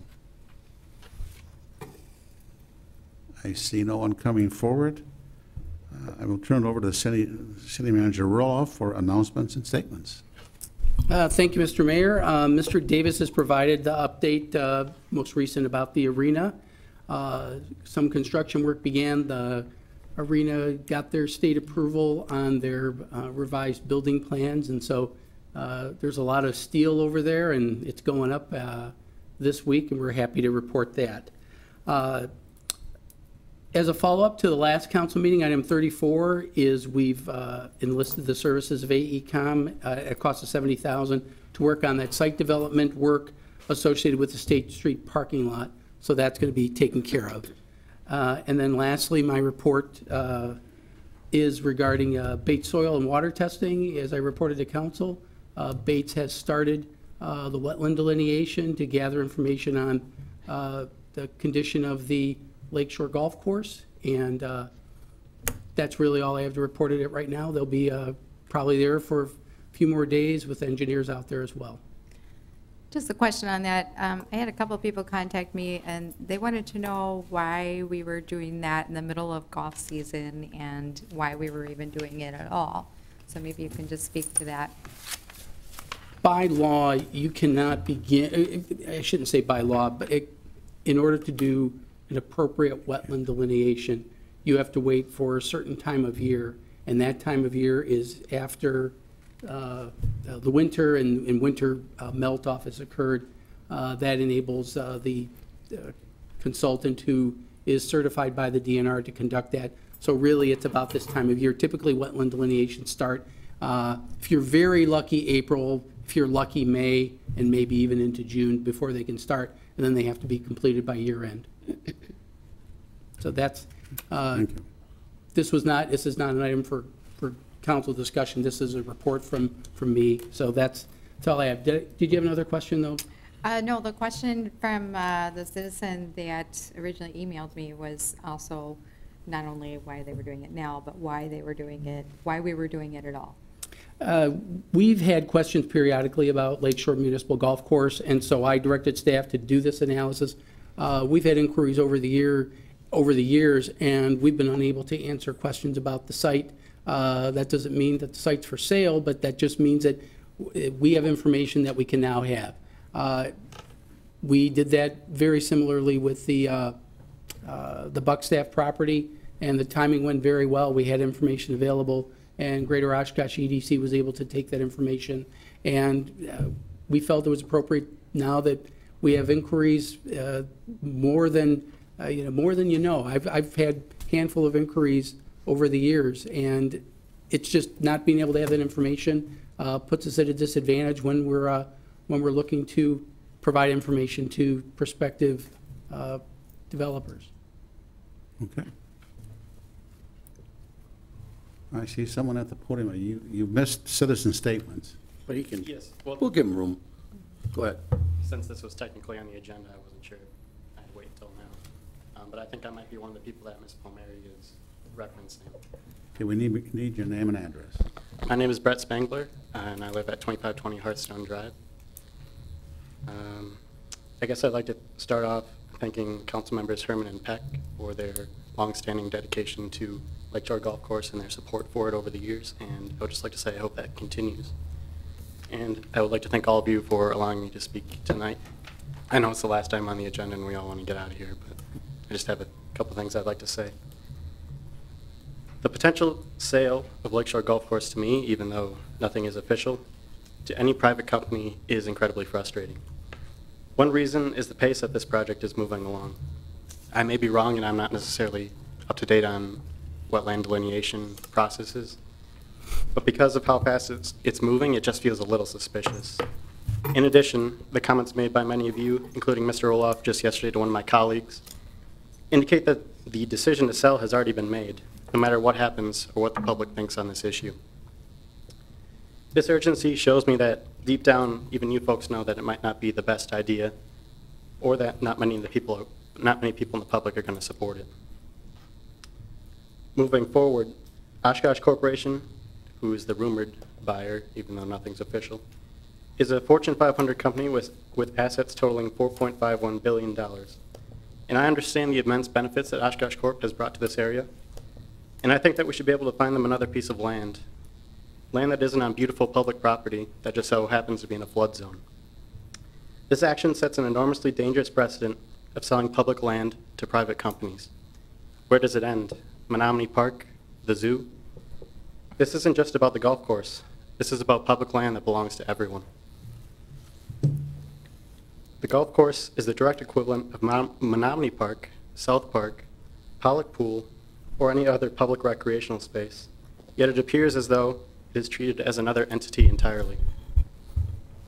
Additionally, there is so much undeveloped land available on the south and east sides of the city, some of which is near the old Buckstaff building, which stood vacant and unbought for five years, I might add.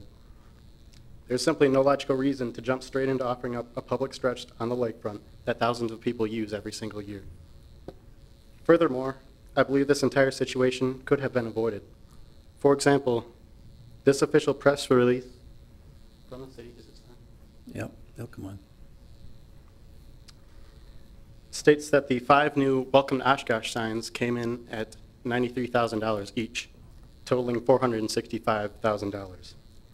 This project costed more than the alleged debt held by the golf course.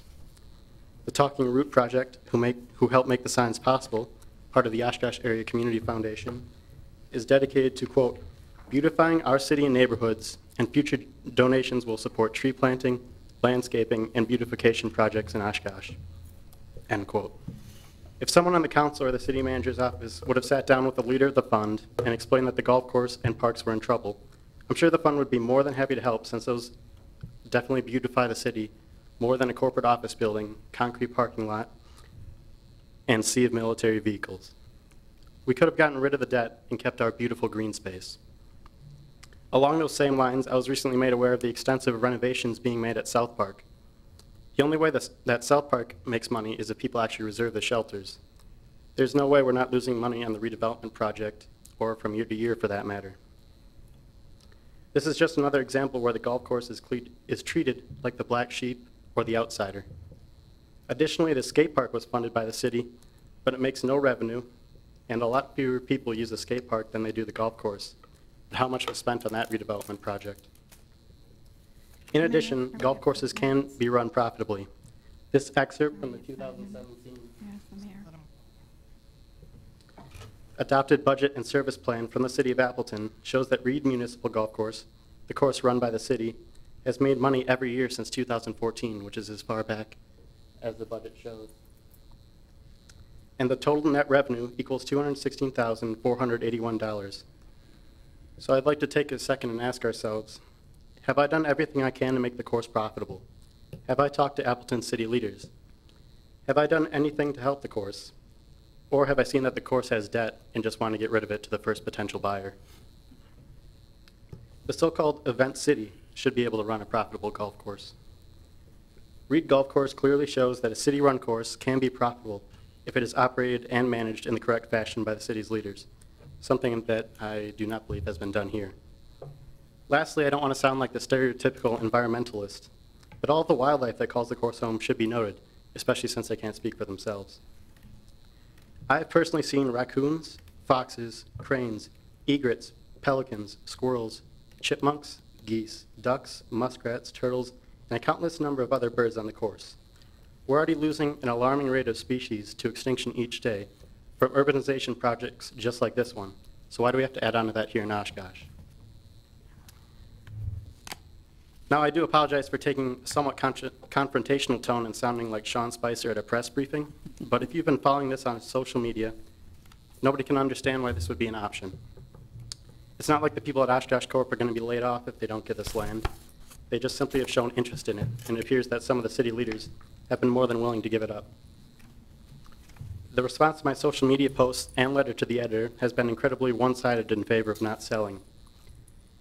Even people who don't golf agree that this shouldn't be allowed to happen. And I just want to say that, um, you know, it's just, it's a little frustrating that it appears that some of our leaders have lost touch with those who voted for them, and just, we don't feel like we're being heard 100%. So I just like you to take uh, into account our, the public's feelings on this, and I hope that our message is finally heard. Uh, Once again, thank you for allowing me to speak tonight. Thank you. That's all I have, Mr. Mayor. I would look for a Motion to adjourn. So moved. Second. Second, all in favor, signify by saying aye. Adjourned.